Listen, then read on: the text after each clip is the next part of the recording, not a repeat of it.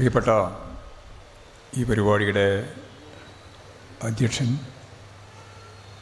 C P എമ്മിന്റെ സംസ്ഥാന committee അംഗവും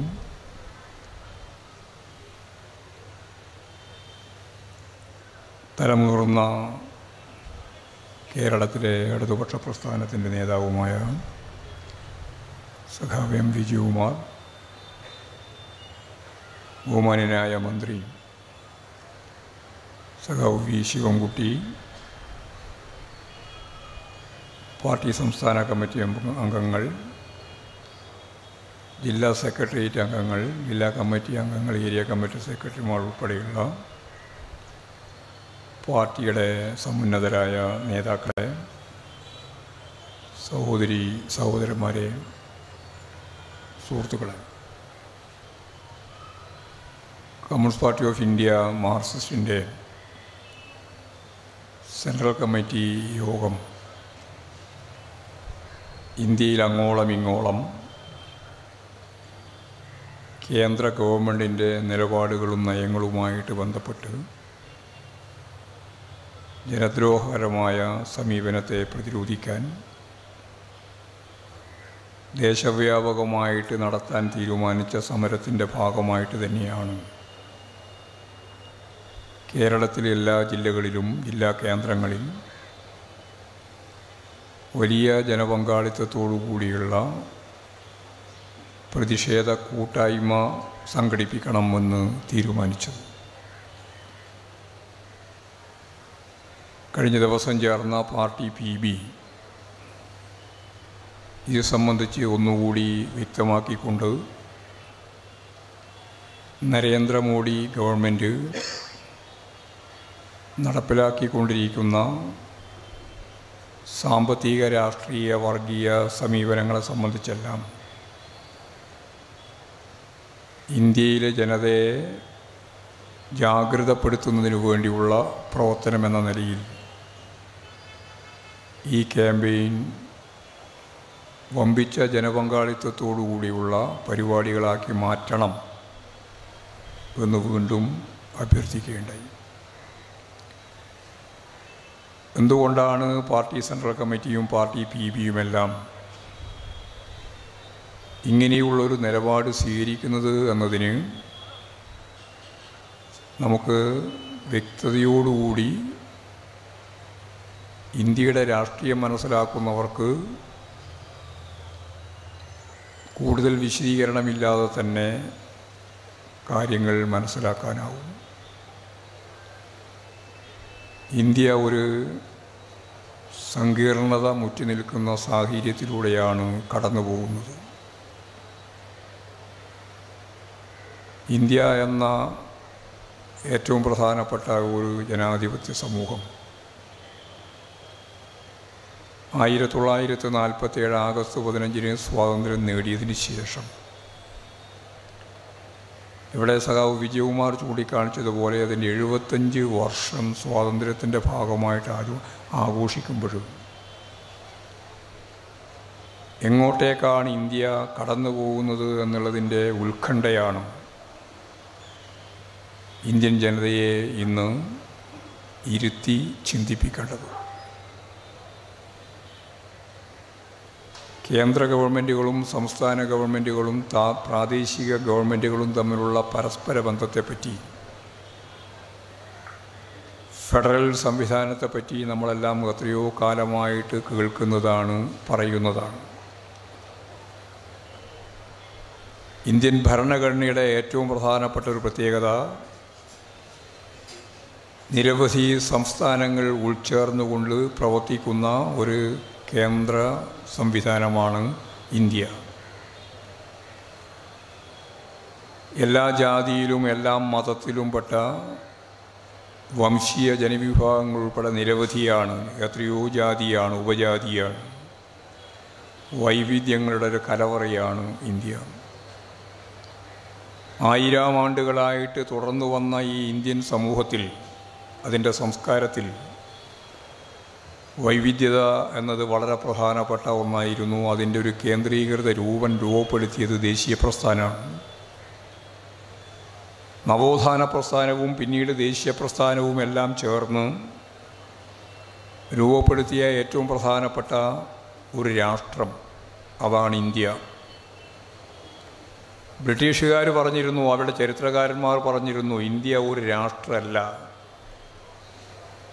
ഇന്ത്യ എത്രയോ രാഷ്ട്രങ്ങൾ ചേർന്ന ഒരു സമുച്ചയമാണ്.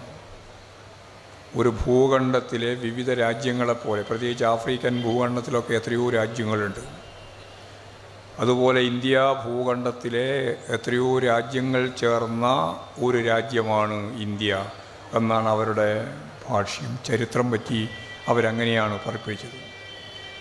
അത് ഇന്ത്യയ്ക്ക് ഒറ്റക്കെട്ടായിട്ട് നിൽക്കാനാവില്ല ഇന്ത്യ ഇന്ത്യയായിട്ട് നിൽക്കില്ല ഇന്ത്യ വളരെ വേഗം തന്നെ കഷണം കഷണങ്ങളായിട്ട് മാറുമെന്നായിരുന്നു അവർ പ്രവചിച്ചത്. പക്ഷേ ഇന്ന് എഴുപത്തഞ്ച് വർഷം സ്വാതന്ത്ര്യം പിന്നിട്ടതിന് ശേഷവും നമുക്കറിയാം ഇന്ത്യ ഇന്ത്യയായിട്ട് നിൽക്കുകയാണ്. പക്ഷേ ഈ ഇന്ത്യയെ ഇന്ത്യയായിട്ട് നിൽക്കാൻ അനുവദിക്കാത്ത നിലയിലുള്ള പുതിയ പ്രവണതകളും നിലപാടുകളും പഴയ രീതിയിൽ പുതിയ തലത്തിൽ കൈകാര്യം ചെയ്യാനാണ് നരേന്ദ്രമോദി ഇപ്പോൾ ശ്രമിക്കുന്നത്. അതാണ് നമ്മളിപ്പോൾ അഭിമുഖീകരിക്കുന്ന ഏറ്റവും പ്രധാനപ്പെട്ട പ്രശ്നം.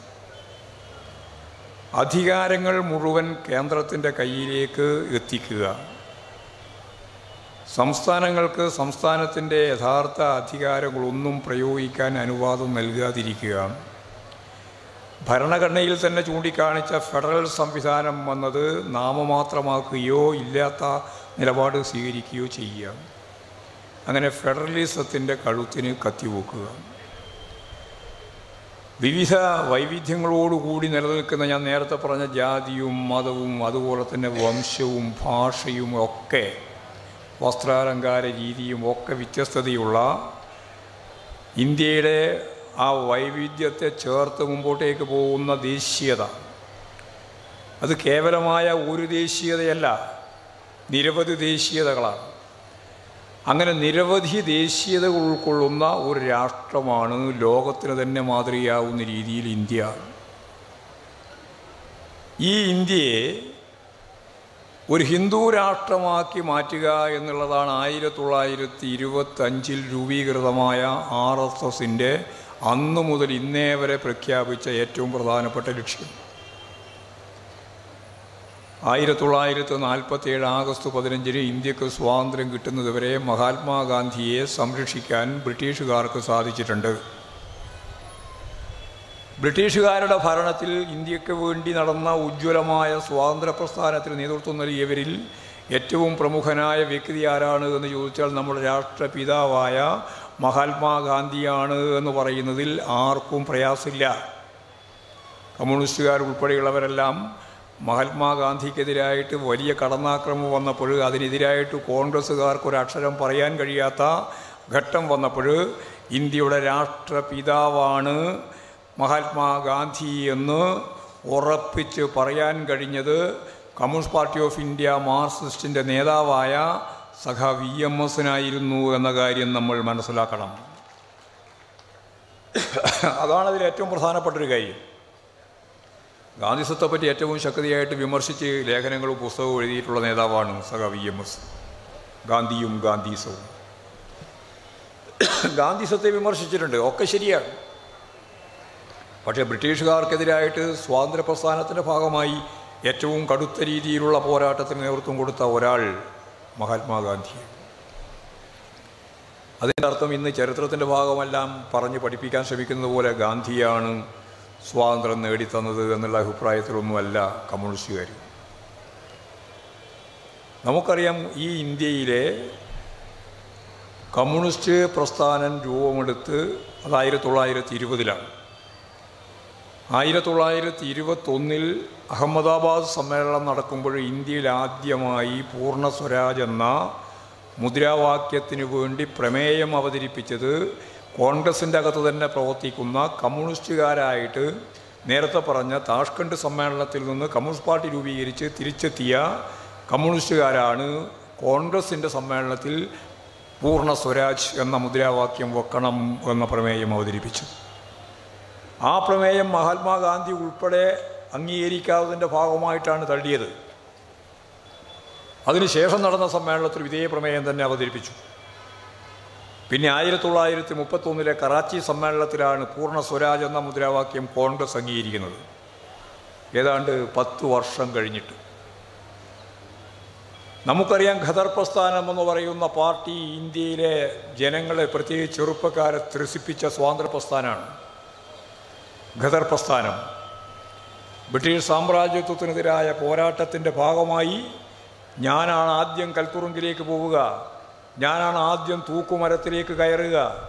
എന്റെ ജീവിതമാണ് ആദ്യമായിട്ട് ഞാൻ ഭാരതാംബക്ക് സമർപ്പിക്കുക എന്ന ആത്മാർപ്പണ ബോധത്തോടുകൂടി പ്രവർത്തിച്ച ആയിരക്കണക്കിന് ചെറുപ്പക്കാരുടെ പ്രസ്ഥാനമായിരുന്നു ഖദർ പ്രസ്ഥാനം. ദേശീയ സ്വാതന്ത്ര്യ പ്രസ്ഥാനത്തിന്റെ ഭാഗമായിട്ടാണ് ഈ രാജ്യത്തിന്റെ സ്വാതന്ത്ര്യത്തിന് വേണ്ടി ഞാൻ സർവസ്വവും സമർപ്പിക്കും.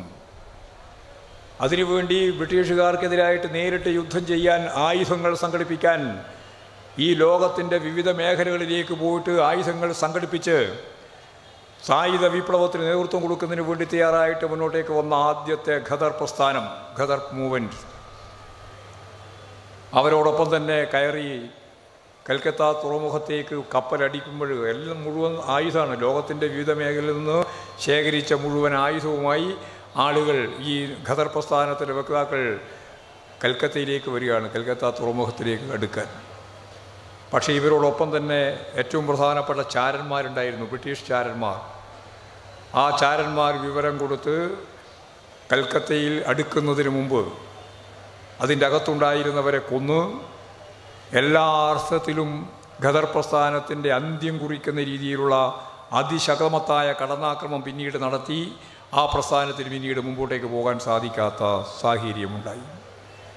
ഭഗത് സിംഗിന്റെ പ്രസ്ഥാനം ഞാൻ എന്റെ ജീവിതം സമർപ്പിക്കുന്നു എന്ന് പ്രഖ്യാപിച്ചുകൊണ്ട് നമുക്കെല്ലാം അറിയുന്നത് പോലെ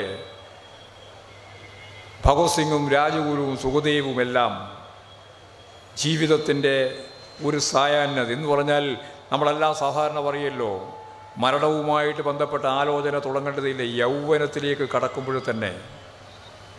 ജീവിതം സമർപ്പിക്കാൻ തീരുമാനിച്ച ധീരരായ വിപ്ലവകാരികൾ വളരെ വേഗം മാർക്സിസ്റ്റ് ആയിക്കൊണ്ടിരിക്കുകയായിരുന്നു ഭഗത് സിംഗ് ഉൾപ്പെടെ.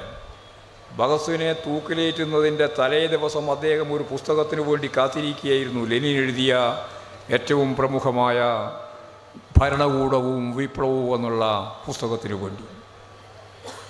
നിങ്ങൾ ആലോചിച്ച് നോക്കണം. അദ്ദേഹം വളരെ വേഗം മാർക്സിസ്റ്റ് ആയിക്കൊണ്ടിരിക്കുകയായിരുന്നു. ലെനിന്റെ പുസ്തകത്തിന് വേണ്ടി കാത്തിരിക്കുകയാണ്. വളരെ ചുരുക്കം മണിക്കൂറുകൾ മാത്രമുള്ളപ്പോഴും അദ്ദേഹം അവസാനമായിട്ട് വായിച്ചത് അദ്ദേഹത്തിന് അവസാനമായി കിട്ടിയത് ഈ പറയുന്ന പുസ്തകമാണ്. ഭരണകൂടവും വിപ്ലവവും. എങ്ങനെയാണ് ഭരണകൂടത്തെ കൈകാര്യം ചെയ്യേണ്ടത് എന്നതിനെ സംബന്ധിച്ച് എങ്ങനെയാണ് വിപ്ലവം സംഘടിപ്പിക്കേണ്ടത് എന്നതിനെ സംബന്ധിച്ച് നാളെ ഒന്നും ചെയ്യാൻ അവശേഷിക്കുന്നില്ല ജീവിതത്തിൽ എന്ന് കണ്ടപ്പോഴും അതിനെപ്പറ്റി മനസ്സിലാക്കുന്നതിന് വേണ്ടി ആ പുസ്തകം ലഭിക്കുന്നതിന് വേണ്ടി കാത്തിരിക്കുകയായിരുന്നു എന്ന് അദ്ദേഹത്തിന്റെ ഏറ്റവും അടുത്ത സഖാക്കൾ പിന്നീട് എഴുതുകയുണ്ടായി. അവസാനം വായിച്ച പുസ്തകം അതാണ്. ചന്ദ്രശേഖര ആസാദിനെ പോലെയുള്ള പ്രസ്ഥാനം അവരുടെ എല്ലാം പ്രസ്ഥാനം ഉണ്ടായിരുന്നു. അവരെല്ലാം നടത്തിയ ഉജ്ജ്വലമായ പോരാട്ടങ്ങളിലൂടെയാണ് ദേശീയ പ്രസ്ഥാനത്തിന് കരുത്ത് നേടാനായത്. ഒന്നാം സ്വാതന്ത്ര്യ സമരത്തിന്റെ ഭാഗമായിട്ട് ഉള്ള ആയിരത്തി എണ്ണൂറ്റി അമ്പത്തി ഏഴ് കാലഘട്ടത്തിലെ പോരാട്ടം നമുക്കറിയാം. ഞാനതിന്റെ ചരിത്രത്തിലേക്ക് വിശദീകരണത്തിലേക്കൊന്നും കടക്കാനല്ല ഉദ്ദേശിക്കുന്നത്. ഞാനിവിടെ ഈ കാര്യം പറയാൻ തന്നെ ഇടയാക്കിയത് ഇന്ന് ഗവർണറെ പോലെയുള്ള ചില ആളുകൾ ഈ ഇന്ത്യയിലേക്ക് ഇടതുപക്ഷ രാഷ്ട്രീയത്തിന്റെ ഭാഗമായ മാർസത്തെപ്പറ്റി യാതൊന്നും മനസ്സിലാക്കാതെ ആർ എസ്സുകാരൻ സാധാരണ പറയുന്നത് പോലെ നമ്മോട് പറയുമ്പോൾ കേരളത്തോട് പറയുമ്പോൾ കേരളത്തിലെ ജനങ്ങൾക്ക് മാർസം എന്ന് പറയുന്ന ഈ പ്രത്യശാസ്ത്രത്തെ സംബന്ധിച്ച് അതിന്റെ രാഷ്ട്രീയ ഉള്ളടക്കത്തെ സംബന്ധിച്ച് അതിന്റെ അർത്ഥശാസ്ത്രത്തെ സംബന്ധിച്ച് ഇപ്പോഴല്ല എത്രയോ പതിറ്റാണ്ടുകൾക്ക് മുമ്പ് നൂറ്റാണ്ടുകൾക്ക് മുമ്പ് തന്നെ ഒരു വ്യക്തത വന്ന ഒരു കാര്യം ഞാൻ ചൂണ്ടിക്കാണിക്കാൻ വേണ്ടിയിട്ടാണ് ഇത്രയും കാര്യങ്ങൾ വിശദീകരിച്ചത്. മാർസിന്റെ ആദ്യഘട്ടം ആയിരത്തി എണ്ണൂറ്റി അമ്പതുകളുടെ ആദ്യം ഈ ആദ്യത്തെ സ്വാതന്ത്ര്യ പ്രസ്ഥാനത്തിന്റെ ഭാഗമായിട്ടുള്ള ജാൻസി റാണി ഉൾപ്പെടെയുള്ളവരുടെ സമരത്തെ ചൂണ്ടിക്കാണിച്ചുകൊണ്ട് അത് പരാജയപ്പെട്ടെങ്കിലും അതാണ് ഭാവി നിർണയിക്കുന്ന സ്വാതന്ത്ര്യ പ്രസ്ഥാനത്തിന്റെ ഭാഗമായിട്ടുള്ള കാര്യം വന്ന് എഴുതിയത് അങ്ങ് ദൂരെ ഉണ്ടായിരുന്ന മാർസാണ്. മൂലധനം എന്ന് പറയുന്ന ബൃഹത്തായ പുസ്തകം. ആ പുസ്തകത്തിൽ സഹ മാർസ് എഴുതി വെച്ചിട്ടുണ്ട്. ഇന്ത്യയുടെ ജാതി വ്യവസ്ഥയെ സംബന്ധിച്ച് ഇന്ത്യയിലെ കൂലി വ്യവസ്ഥയെ സംബന്ധിച്ച് ഇന്ത്യയിലെ കൈത്തറി തൊഴിലാളികൾ പ്രശ്നം സംബന്ധിച്ച് മിച്ചമൂല്യ സിദ്ധാന്തത്തിന്റെ ആവിഷ്കാരത്തിന് ഏറ്റവും പ്രധാനമായിട്ട് ഉപയോഗിച്ച ഒരു ഭൂഖണ്ഡത്തിന്റെ ചിത്രം കൃത്യമായിട്ട് മാർസ് വരച്ചു വെച്ചിട്ടുണ്ട്. ഇവിടെയുള്ള ജാതി വ്യവസ്ഥയെ സംബന്ധിച്ച് കൃത്യമായിട്ട് എഴുതി വച്ചിട്ടുണ്ട്. ഇന്ത്യൻ സമൂഹത്തിന്റെ വളർച്ചയ്ക്ക് തടസ്സമായി നിൽക്കുന്ന ജാതീയ സംവിധാനത്തിന്റെ കാര്യങ്ങൾ സംബന്ധിച്ച് ഫ്യൂഡൽ സമൂഹത്തിന്റെ ഭാഗമായിട്ടുള്ള പ്രശ്നം മാർസ് എഴുതി വച്ചിട്ടുണ്ട്. മാർസ് എവിടെ ജീവിച്ചു എന്നുള്ളതിനെ അടിസ്ഥാനപ്പെടുത്തിയിട്ടല്ല. മാർസം എങ്ങനെ എവിടെ ആവിർഭവിച്ചു എന്ന് നോക്കിയിട്ടുമല്ല.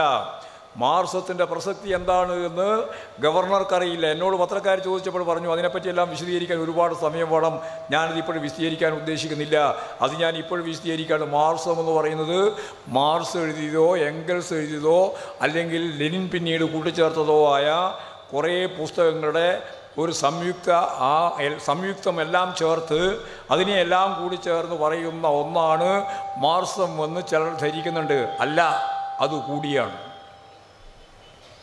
മാർസം എന്ന് പറയുന്നത് ഞാനിവിടെ നിങ്ങളോട് സംസാരിക്കുന്ന ഈ നിമിഷം വരെ എല്ലാം മാറിക്കൊണ്ടിരിക്കുന്നു. മാറാത്ത ഒറ്റ കാര്യം മാത്രമേ ഉള്ളൂ അത് നിരന്തരമായ മാറ്റമാണ്. നിരന്തരമായ മാറ്റത്തിന് വിധേയമാവുന്ന പ്രകൃതി പ്രപഞ്ചം സമൂഹം ആ സമൂഹത്തിലെ ഞാനും നിങ്ങൾ ഉൾപ്പെടെ ഓരോ നിമിഷം കഴിയും തോറും നവീകരിച്ചുകൊണ്ടിരിക്കുകയാണ്. നവീകരണ പ്രക്രിയ. ആ നവീകരണത്തിന്റെ ഭാഗമായി സംഭവിക്കുന്ന ഏറ്റവും പ്രധാനപ്പെട്ട ഒന്നാണ് ശാസ്ത്ര സാങ്കേതിക വളർച്ച. അതിന്റെ ഒപ്പം തന്നെ നവ നവ ആശയങ്ങൾ. ഇതെല്ലാം ചേർത്തുകൊണ്ടാണ് സമൂഹത്തെയും അതുപോലെ തന്നെ നമ്മുടെ ജനതയെയും മുന്നോട്ടേക്ക് നയിക്കുന്നത് പുരോഗമിപ്പിക്കുന്നത്. അങ്ങനെ വരുമ്പോൾ ഞാനിവിടെ ഈ പൊതുയോഗത്തിൽ സംസാരിച്ച് നിങ്ങളോട് പറയുന്ന ഈ നിമിഷം വരെ അത് പറഞ്ഞു കഴിയുമ്പോഴേക്ക് നിമിഷം മാറി. വീണ്ടും അടുത്ത നിമിഷമായി. പക്ഷേ നമുക്ക് പറഞ്ഞ് അവസാനിപ്പിക്കാൻ അങ്ങനെയല്ലേ പറ്റുള്ളൂ. അതുകൊണ്ട് ഞാൻ പറയുകയാണ് ഈ നിമിഷം വരെ ഈ സമൂഹത്തിലെ സർവതല സ്പർശിയായ മേഖലയിലാകെയുള്ള എല്ലാ മാറ്റത്തിന്റെയും എല്ലാ സയൻസിന്റെയും എല്ലാ ചരിത്രത്തിന്റെയും എല്ലാ നിയമത്തിന്റെയും ശരിയായ എല്ലാ നിയമങ്ങളെയും എല്ലാ കണ്ടെത്തലുകളെയും പൂർണമായിട്ട് ഉൾക്കൊള്ളാൻ ശേഷിയുള്ള ഉൾക്കൊള്ളാൻ കഴിവുള്ള ഓരോ നിമിഷവും വളർന്നുകൊണ്ടിരിക്കുന്ന വികസിച്ചുകൊണ്ടിരിക്കുന്ന ഒന്നാണ് മാർസം. അത് ഈ മാർസത്തിനല്ലാതെ ലോകത്ത് ഒന്നിനും തന്നെ ഈ പ്രത്യേകതയില്ല. മാർസിന്റെ മാത്രം പ്രത്യേകതയാണത്. മാർസ് തന്നെയാണ് ഈ കാര്യം ചൂണ്ടിക്കാണിച്ചത്. എല്ലാം മാറിക്കൊണ്ടിരിക്കുന്നു മാറാത്ത ഒറ്റക്കാര്യം മാറ്റം മാത്രം. ആ മാറ്റത്തെ അടിസ്ഥാനപ്പെടുത്തിയിട്ട് നമുക്ക് ഓരോ സന്ദർഭത്തിലും ലഭിക്കുന്ന സർവതല സ്പർശിയായ മേഖലയിലുള്ള എല്ലാറ്റിനെയും എല്ലാ കണ്ടെത്തലുകളെയും പൂർണമായിട്ട് ഉൾക്കൊണ്ടുകൊണ്ട് മാത്രമേ ഒരു പുതു സമൂഹം സൃഷ്ടിക്കാൻ നമുക്ക് മുന്നോട്ടേക്ക് പോകാൻ സാധിക്കുകയുള്ളൂ. ആ അർത്ഥത്തിൽ ഈ രാജ്യം ഈ ഇന്ത്യ ഇന്ത്യയുടെ ഭാഗമായ കേരളം ഉൾപ്പെടെ കേരളത്തിലെ ഇടതുപക്ഷ ജനാധിപത്യ മുന്നണി അതിന്റെ ഭാഗമായിട്ടുള്ള ഗവൺമെന്റ് ആ ഗവൺമെന്റ് ഉൾപ്പെടെ നടത്തിക്കൊണ്ടിരിക്കുന്ന പുതിയ ബദൽ ഇതെല്ലാം മാർസത്തിന്റെ ഭാഗമായിട്ട് നമുക്ക് ലഭിച്ച അനുഭവവേദ്യമായ ഏറ്റവും പ്രധാനപ്പെട്ട കാര്യങ്ങളാണ്. അതാണ് പ്രത്യശാസ്ത്രത്തിന്റെ പ്രത്യേകത. അതുകൊണ്ട് മാർസ് അങ്ങ് നങ്ങുന്നു ഓടുന്നോ പുറപ്പെട്ട് ഇങ്ങോട്ട് വന്നിരിക്കുകയാണ് എന്ന ധാരണയോടുകൂടി ഗവർണർ പറയുമ്പോൾ ആ ഗവർണറെ പറ്റി പരിതപിക്കുകയല്ലാതെ വേറെ നമുക്ക് എന്താണ് ചെയ്യാനാവുക? ഞാൻ വേറെ ഒന്നും പറയാൻ ഉദ്ദേശിക്കുന്നില്ല. മാർസ് എന്ന് പറയുന്ന ഒരു സയൻസാണ്. സാമൂഹ്യ ശാസ്ത്ര മേഖലയിലുള്ള ശാസ്ത്രം. ആ ശാസ്ത്രം വെറുതെ ഇങ്ങ് രൂപപ്പെട്ടു വന്നതല്ല. ലോകത്തിന്നേ വരെയുള്ള ഇതപര്യന്തമുള്ള മനുഷ്യ സമൂഹത്തിന്റെ ചരിത്രത്തെ അതിന്റെ വർഗ സമരം ഉൾപ്പെടെയുള്ള എല്ലാ കാര്യങ്ങളെയും വിശകലനം ചെയ്തുകൊണ്ട് നിലനിൽക്കുന്ന മുതലാളിത്ത സമൂഹത്തിന്റെ ഭാഗമായിട്ടുള്ള ഉൽപാദന വിതരണ ഘടന. ആ ഉൽപാദന വിതരണ ഘടന എന്ന് പറയുന്നത് സമ്പന്നർ കൂടുതൽ സമ്പന്നരാവുകയും ദരിദ്രർ കൂടുതൽ ദരിദ്രരാവുകയും ചെയ്യുന്നതാണ് അതിന്റെ പ്രതിസന്ധി. ഇപ്പോൾ പറയുന്നതല്ല ഏതാണ്ട് നൂറ്റാണ്ടുകൾക്ക് മുമ്പ് തന്നെ പറഞ്ഞു വെച്ചതാണ്. എന്താ മുതലാളിത്ത പ്രതിസന്ധി? എല്ലാവരും പ്രസംഗിക്കാറുണ്ട് മുതലാളിത്ത പ്രതിസന്ധിയെ പറ്റി. മുതലാളിത്ത പ്രതിസന്ധി എന്ന് പറഞ്ഞാൽ സമ്പന്നർ കൂടുതൽ സമ്പന്നരാവുക ദരിദ്രർ കൂടുതൽ ദരിദ്രരാകുക. ഈ പ്രക്രിയ തുടരുന്നതിനെയാണ് മുതലാളിത്ത പ്രതിസന്ധി എന്ന് പറയുക. എപ്പോഴാണോ മുതലാളിത്തം ആവിർഭവിച്ചത്? അന്ന് തുടങ്ങിയതാണ് ഈ പ്രതിസന്ധി.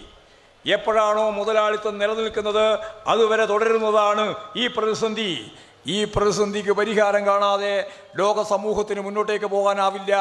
അതിൽ നിന്നാണ് മാർസ് പറഞ്ഞത് മുതലാളിത്ത സാമൂഹ്യ വ്യവസ്ഥ തകരുകയും അതിനു പകരം സോഷ്യലിസവും തുടർന്ന് കമ്മ്യൂണിസവും ഈ ലോകത്ത് രൂപം കൊള്ളുകയും ചെയ്യും എന്നുള്ളത് സയൻസിന്റെ ഭാഗമായി സാമൂഹ്യശാസ്ത്രത്തിന്റെ ഭാഗമായി മാർസ് വളരെ വ്യക്തമായി ചൂണ്ടിക്കാണിച്ചതാണ്. അതുകൊണ്ടാണ് മാർസം സയൻസ് ആകുന്നത്. മാർസം ശാസ്ത്രമാകുന്നത് ആ ശാസ്ത്രം ഇന്ന് ശരിയാണ്. നാളെയും ശരിയാണ്. പക്ഷേ അത് അഞ്ച് കൊല്ലം കൊണ്ട് പത്ത് കൊല്ലം കൊണ്ട് പതിനഞ്ച് കൊല്ലം കൊണ്ട് ഇരുപത് കൊല്ലം കൊണ്ട് ഇരുപത്തഞ്ച് കൊല്ലം കൊണ്ട് എന്റെ ആയുസിന്റെ കാലത്ത് ഈ കാര്യങ്ങളെല്ലാം നടക്കുമെന്ന് ആരും തെറ്റിദ്ധരിക്കണ്ട. കാരണം ലക്ഷക്കണക്കിന് വർഷക്കാലത്ത് നീണ്ട പരിശ്രമത്തിന്റെ ഭാഗമായിട്ടാണ് ഇന്നത്തെ മനുഷ്യൻ. എൺപത് ലക്ഷം വർഷം പഴക്കമുണ്ട് ഈ മനുഷ്യകുലത്തിന് ഒന്നുകൂടി ഞാൻ പറയാം അത്രയാ എൺപത് ലക്ഷം വർഷം പഴക്കമുണ്ട് ഈ മനുഷ്യകുലത്തിന് ഒരു പ്രത്യേക കുരങ്ങിൽ നിന്നാണ് മനുഷ്യനുണ്ടായി. എല്ലാ കുരങ്ങിൽ നിന്നും മനുഷ്യനുണ്ടായിട്ടില്ല. ലക്ഷക്കണക്കിന് വർഷം കഴിഞ്ഞിട്ടും ഉണ്ടായിട്ടില്ല. കുറേ കൊല്ലം കഴിഞ്ഞതിന് ഉണ്ടാവുമെന്ന് വിചാരിക്കുകയും വേണ്ട. ഒരു പ്രത്യേക സൈസ് അതിന്റെ പേരൊന്നും പറഞ്ഞ് ഞങ്ങൾ വിഷമിപ്പിക്കുന്നില്ല. അതൊറ്റ ഒരു രാജ്യത്ത് മാത്രമേ ഉണ്ടായിട്ടുള്ളൂ. ഒരേ ഒരു രാജ്യത്തു നിന്നാണ് ഈ മനുഷ്യകുലം മുഴുവൻ ഇന്നത്തെ രീതിയിൽ ലോകവ്യാപകമായിട്ട് വ്യാപിച്ചത്. ആ രാജ്യം ഏതറിയോ ഒറ്റ രാജ്യം. അത് ആഫ്രിക്കയാണ്. നമ്മളല്ല ആഫ്രിക്കന്റെ മക്കളാണ്. ഈ ലോകത്തെ മുഴുവൻ മനുഷ്യരും ആഫ്രിക്കയുടെ മക്കളാണ്. പറയുമ്പോൾ തന്നെ ഒരു വിഷമായി. അല്ലേ? സഹിക്കല്ലാണ്ട് വേറെ വഴിയില്ല. ശാ സത്യം പറയുമ്പോൾ എപ്പോഴും അങ്ങനെയാണ്. വിഷമാണ്. അവിടെ എൺപത് ലക്ഷം വർഷം മുമ്പ് മുപ്പത്തഞ്ച് ലക്ഷം വർഷം മുമ്പ് ജീവിച്ച മനുഷ്യന്റെ ഫോസിൽ ലോകത്താകെ കണ്ടെത്തിയത് ആഫ്രിക്കയിൽ മാത്രമാണ്. വേറെ എവിടെയും കിട്ടിയിട്ടില്ല. ഇരുപത് ലക്ഷം കൊല്ലത്തിന് ഇപ്പുറത്തുള്ളതാണ് കിട്ടിയത് മറ്റു മല രാജ്യങ്ങളിലും മറ്റു മല മേഖലയിലും. അപ്പോൾ ഞാൻ പറഞ്ഞത് എൺപത് ലക്ഷത്തോളം വർഷക്കാലം ഈ കുലം ജീവിച്ചു വന്നിട്ടുണ്ട്. അതിന്റെ സുദീർഘകാലം മുഴുവൻ പ്രാകൃത കമ്മ്യൂണിസ്റ്റ് സാമൂഹ്യ വ്യവസ്ഥ പോലെയാണ്. എത്രയോ ലക്ഷം വർഷം. പിന്നീടാണ് അടിമത്തത്തിലേക്ക് വന്നത്. പിന്നീടാണ് ഭൂപ്രഭുത്വത്തിലേക്ക് വന്നത്. പിന്നീടാണ് മുതലാളിത്തത്തിലേക്ക് വന്നത്. പിന്നീടാണ് സോഷ്യലിസത്തിലേക്ക് വരുന്നത്. എത്രയോ കാലം ആദ്യം ഉണ്ടായിരുന്നതിനേക്കാൾ കുറവായിരുന്നു അടിമത്തം. അടിമത്തത്തേക്കാൾ കുറവായിരുന്നു ഫ്യൂഡലിസം. ഫ്യൂഡലിസത്തേക്കാൾ കുറവായിരുന്നു മുതലാളിത്തം. പത്ത് നാനൂറ് കൊല്ലയായിട്ടുള്ളൂ സാമൂഹ്യ പരിവർത്തനമെന്ന് പറയുന്നത് ആയിരം ആയിരക്കണക്കിന് വർഷങ്ങളാണ് എടുക്കുക. അപ്പോൾ മുതലാളിത്തം പത്ത് നാനൂറ് വർഷം ഈ നാനൂറ് വർഷത്തിന്റെ ഒപ്പം തന്നെയാണ് ആയിരത്തി തൊള്ളായിരത്തി പതിനേഴോടുകൂടി സോവിയറ്റ് റഷ്യ സോഷ്യലിസ്റ്റ് സമ്പത്ത് വ്യവസ്ഥ. അത് പിന്നീട് തിരിച്ചു പോയിട്ടുണ്ട്. ചൈന ഇപ്പോഴുണ്ട് ക്യൂബ ഇപ്പോഴുണ്ട് കൊറിയ ഇപ്പോഴുണ്ട് ലാവോസ് ഇപ്പോഴുണ്ട്. അതുപോലെ തന്നെയുള്ള ചെറിയ ചെറിയ രാജ്യങ്ങളും വലിയ രാജ്യമുണ്ട് ഈ ലോകത്ത് സോഷ്യലിസ്റ്റ് പാതയിലൂടെ മുന്നോട്ടേക്ക് പോകാൻ. അപ്പോൾ സോഷ്യലിസം ഈ ലോകത്തിന്റെ മുമ്പിൽ ഇപ്പോഴുണ്ട്. ഈ സോഷ്യലിസ്റ്റ് രാജ്യങ്ങൾ ഉൾപ്പെടെ ഇനി മുമ്പോട്ടേക്ക് കുതിച്ചു പോകുമ്പോൾ സ്വാഭാവികമായിട്ട് ഒരുപാട് മാറ്റത്തിന് വിധേയമാകും. ലോകം ഇങ്ങനെ പോകാനാവില്ല. സമ്പന്നർ കൂടുതൽ സമ്പന്നരാകുന്ന ദരിദ്രർ കൂടുതൽ ദരിദ്രരാകുന്ന ഈ സാഹചര്യം ഈ രാജ്യത്ത് ഈ ലോകത്ത് അവസാനിപ്പിക്കാൻ സാമൂഹ്യ വിപ്ലവമല്ലാതെ വേറൊരു വഴിയുമില്ല എന്ന് മാർസ് പറഞ്ഞു വെച്ച സയൻസ് തികച്ചും ശരിയാണ്. അത് പത്ത് കൊല്ലം കൊണ്ടാവും പതിനഞ്ച് കൊല്ലം കൊണ്ടാവും ഇരുപത് കൊല്ലം കൊണ്ടാവും എന്നൊന്നും ഞാൻ പറയുന്നില്ല. പക്ഷേ അതല്ലാതെ വേറൊരു വഴിയില്ല. ഇതാണല്ലോ കമ്മ്യൂണിസ്റ്റുകാരെ കമ്മ്യൂണിസ്റ്റുകാരാക്കി നിർത്തുന്നത്. അല്ലാതെ വേറെ വികാരമൊന്നുമല്ല. കമ്മ്യൂണിസ്റ്റുകാർ കമ്മ്യൂണിസ്റ്റുകാരായി നിൽക്കുന്ന ഇതുകൊണ്ടാണ് ഈ സയൻസിന്റെ ഭാഗമായിട്ടാണ്. അതിനു വേണ്ടിയുള്ള പ്രവർത്തനത്തിലാണ് നമ്മൾ ഓരോരുത്തരും നടന്നുകൊണ്ടിരിക്കുന്നത് മുന്നേറിക്കൊണ്ടിരിക്കുന്നത്. അതുകൊണ്ട് സാമൂഹ്യ പരിവർത്തനം അനിവാര്യമാണെന്ന സയൻസ് സാമൂഹ്യശാസ്ത്രത്തിന്റെ ഭാഗമായിട്ട് അവതരിപ്പിച്ച ഏറ്റവും മഹാനായ വിപ്ലവകാരിയാണ് മാർസ് മാർസും എങ്കിൾസും പിന്നെ തുടർന്ന് വന്ന നിരവധിയായ മഹാ ഏറ്റവും പ്രധാനപ്പെട്ട ആളുകൾ ലെനിൻ ഉൾപ്പെടെ. ഇവരെല്ലാം ചേർന്ന് രൂപപ്പെടുത്തിയ മാർസത്തിന്റെ ഇന്നത്തെ പ്രയോഗമാണ് ഞാൻ പറഞ്ഞത്. ഈ നിമിഷം വരെ ലോകം നേടുന്ന എല്ലാ തലങ്ങളിലുമുള്ള ശാസ്ത്ര സാങ്കേതിക വിദ്യ ഉൾപ്പെടെയുള്ള എല്ലാ തലങ്ങളിലെയും ചരിത്രത്തിലെ നിയമങ്ങളിലെ എല്ലാറ്റിന്റെയും ഏറ്റവും അവസാനത്തെ വാക്കായി നമുക്ക് കിട്ടുന്ന എല്ലാറ്റിനെയും ഉൾക്കൊള്ളാൻ കഴിയുന്ന ലോകത്തെ ഒരേ ഒരു പ്രത്യശാസ്ത്രം അത് മാർസമാണ് എന്നത്. അതുകൊണ്ടാണ് ഞാൻ അര അടിവരിയിട്ട് പറഞ്ഞത്. അപ്പോൾ നമുക്ക് ഈ വഴിയിലൂടെ മാത്രമേ പോകാൻ സാധിക്കുള്ളൂ ഈ വഴിയിലൂടെ മുന്നോട്ടേക്ക് പോകുമ്പോൾ ഞാൻ നേരത്തെ പറഞ്ഞതുപോലെ പോലെ അതിസങ്കീർണമായ ഒരു സാഹചര്യമാണ് ഇന്ത്യയിലുള്ളത്. ഫെഡറൽ സംവിധാനത്തെ തകർക്കുന്നതിന് വേണ്ടിയുള്ള പ്രവർത്തനം കേന്ദ്രീകൃതമായ രീതിയിൽ മുഴുവൻ കേന്ദ്രത്തിലേക്ക് എത്തിക്കാൻ വേണ്ടിയുള്ള ആർ എസ് എസിന്റെ ഏറ്റവും പ്രധാനപ്പെട്ട പഴയ റിപ്പബ്ലിക്കിന്റെ കാലത്ത് തന്നെ വിമർശനാത്മകമായ ഉയർത്തിയത് ഇങ്ങനെ സംസ്ഥാനങ്ങൾ വേണ്ട എന്നാണ്. കേന്ദ്രഭരണ പ്രദേശം മതി എന്നാണ്. അതുകൊണ്ടാണ് അമിത്ഷാ ഏറ്റവും അവസാനമായി നിങ്ങൾക്കറിയാം ഒരു സംസ്ഥാനം കേരളം പോലൊരു സംസ്ഥാനമായിരുന്ന ജമ്മു ആൻഡ് കാശ്മീരിനെ രണ്ടാക്കി വെട്ടിമുറിച്ച് ഒരു ഭാഗം ലഡാക്കും അതുപോലെ തന്നെ കാശ്മീരുമാക്കി ലഡാക്ക് ഒരു ഭാഗത്ത് കാശ്മീർ വേറൊരു ഭാഗത്ത്. എന്നിട്ട് അതൊരു കീശയിൽ നിന്ന് ഇങ്ങനെ പാൻസിന്റെ കീശയിൽ ഒരു കടലാസ് എടുത്തിട്ട് പാർലമെന്റിൽ വായിച്ചിട്ടാണ് ഒരു രാജ്യത്തെ അല്ലെങ്കിൽ ഒരു നാടിനെ രണ്ട് കഷ്ണാക്കിയിട്ട് രണ്ട് സംസ്ഥാനത്തിന്റെ പദവിയില്ലാതെ കേന്ദ്രഭരണ പ്രദേശമാക്കിയത്. ഇതുപോലെയുള്ള സംസ്ഥാനങ്ങൾ വേണ്ട എന്ന് ആർ എസ് എസിന്റെ ബി ജെ പിയുടെ റിപ്പബ്ലിക് ദിനത്തിന്റെ ഭാഗമായിട്ടുള്ള പ്രതിഷേധത്തിന്റെ ഒപ്പം തന്നെ ചൂണ്ടിക്കാണിച്ചതാണ് അവർ ഇപ്പോൾ പറയുന്നതൊന്നുമല്ല ആർ എസ് എസിന്റെ മുദ്രാവാക്യം എന്താ? ഓരോ നാട്ടുരാജ്യങ്ങളെ പോലെ ഓരോരോ സംസ്ഥാനമാകുക നൂറുകണക്കിന് സംസ്ഥാനങ്ങളാകുക. അതിന്റെ അർത്ഥം പിന്നെ സംസ്ഥാനങ്ങൾ ഇല്ലാതാകുക എന്നാണ്. കേന്ദ്രത്തിന്റെ അധികാരത്തിലേക്ക് മുഴുവൻ കൊണ്ടുവരിക എന്നുള്ളതാണ്. അതാണ് ആർ എസ് എസ് അന്ന് മുന്നോട്ടേക്ക് വെച്ചത്. ഇപ്പോഴവർക്ക് പറയാൻ അത്രത്തോളം ധൈര്യമില്ലെങ്കിലും ഈ ലഡാക്കിനെയും ജമ്മു ആൻഡ് കാശ്മീരിന്റെ ഭാഗമായിരുന്ന രണ്ട് പ്രദേശങ്ങളെയും രണ്ടാക്കി തരംതിരിച്ചതിന് അതല്ലാതെ വേറൊരു പ്രത്യശാസ്ത്രം ആർ എസ് എസിന്റെയോ ബി ജെ പിയുടെയോ കയ്യിൽ വറയില്ല. അത് തന്നെയാണ്. ഇതാണ് അവരുദ്ദേശിക്കുന്നത് ഭാഷാ സംസ്ഥാനങ്ങൾ രൂപീകരിക്കുന്നതിന്റെ പിന്നിൽ പ്രവർത്തിച്ച ഏറ്റവും പ്രധാനപ്പെട്ട കരുത്ത് കമ്മ്യൂണിസ്റ്റുകാരാണ്. കമ്മ്യൂണിസ്റ്റ് പ്രസ്ഥാനം നടത്തിയ ഉജ്ജ്വലമായ പോരാട്ടമുണ്ട് ഈ ഇന്ത്യയ്ക്ക് സ്വാതന്ത്ര്യം കിട്ടുന്നതിന്റെ മുമ്പും അതിന് ശേഷവും. ഞാൻ ആ ചരിത്രത്തിലേക്കൊന്നും കൂടുതൽ കടക്കുന്നില്ല. ഏതായാലും ഒരു കാര്യം ഞാൻ പറയും. ആയിരത്തി തൊള്ളായിരത്തി ഇരുപത്തി ഇരുപതിൽ കമ്മ്യൂണിസ്റ്റ് പാർട്ടി രൂപീകരിച്ച് ഇന്ത്യയിലേക്ക് തിരിച്ചു വന്ന കമ്മ്യൂണിസ്റ്റുകാർ അവർ ഇന്ത്യയിൽ എത്തിയിരിക്കുന്നു എന്ന് കണ്ടപ്പോൾ തന്നെയാണ് ലാഹോർ ഗൂഢാലോചന കേസ് പെസവാർ ഗൂഢാലോചന കേസ് അതുപോലെ നിരവധി ഗൂഢാലോചന കേസുകളിൽ കമ്മ്യൂണിസ്റ്റുകാരെ ഉൾപ്പെടുത്തി അവരെല്ലാം നിരവധി ആളുകളെ ശിക്ഷിച്ചു ചില ആളുകളെ കൊന്നു. ഇതെല്ലാം ആയിരത്തി തൊള്ളായിരത്തി ഇരുപത് മുതൽ ആയിരത്തി തൊള്ളായിരത്തി തൊണ്ണൂറ് ആയിരത്തി തൊള്ളായിരത്തി മുപ്പത് വരെയുള്ള ഒമ്പത് കൊല്ലക്കാലത്തിന്റെ ചിത്രമാണ്. നിരവധി ഗൂഢാലോചന കേസുകളിൽ പ്രതിയാക്കപ്പെട്ടു. അങ്ങനെയുള്ള കമ്മ്യൂണിസ്റ്റുകാർ കേരളത്തിലെയും ഇന്ത്യയിലെയും വിവിധ മേഖലയിൽ പ്രവർത്തിച്ചു.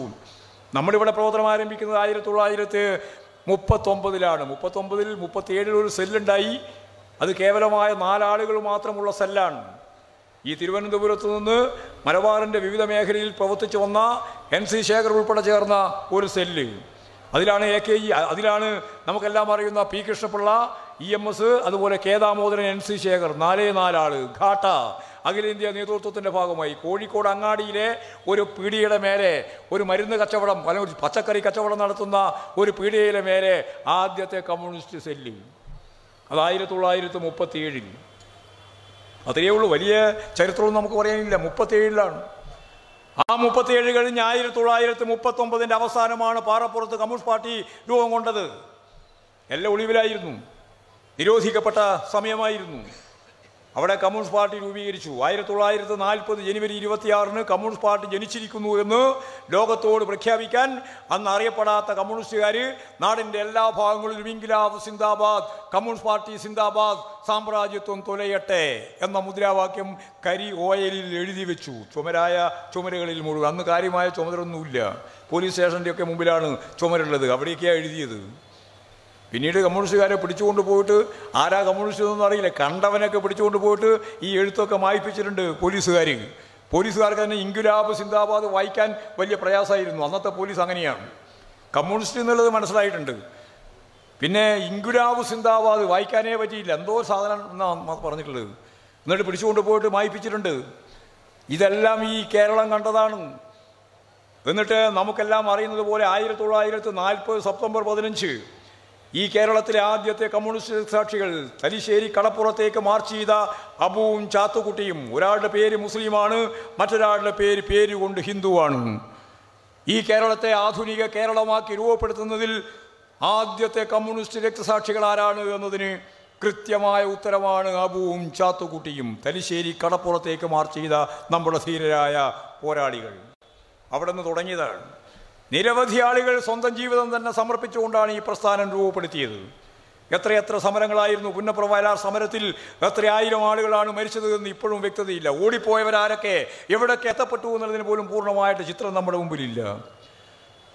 കാവുംബായിയും അതുപോലെ തന്നെ കരിവള്ളൂരും അതിനു മുമ്പ് നമുക്കെല്ലാം അറിയുന്നത് പോലെ നിങ്ങൾക്കെല്ലാം അറിയുന്നത് പോലെ ഏറ്റവും ഉജ്ജ്വലമായിട്ടുള്ള രക്തസാക്ഷിത്വത്തിന്റെ ഒരു കേന്ദ്രഭൂമിയായിട്ട് അറിയപ്പെടുന്ന ഇന്ത്യ മുഴുവൻ അറിയപ്പെട്ട കയ്യൂര് കയ്യൂരിലെ സമരസഖാക്കൾ. നാലുപേരെയും കണ്ണൂർ സെൻട്രൽ ജയിലിൽ കൊണ്ടുപോയിട്ട് തൂക്കിലേറ്റുക ചെയ്തത്.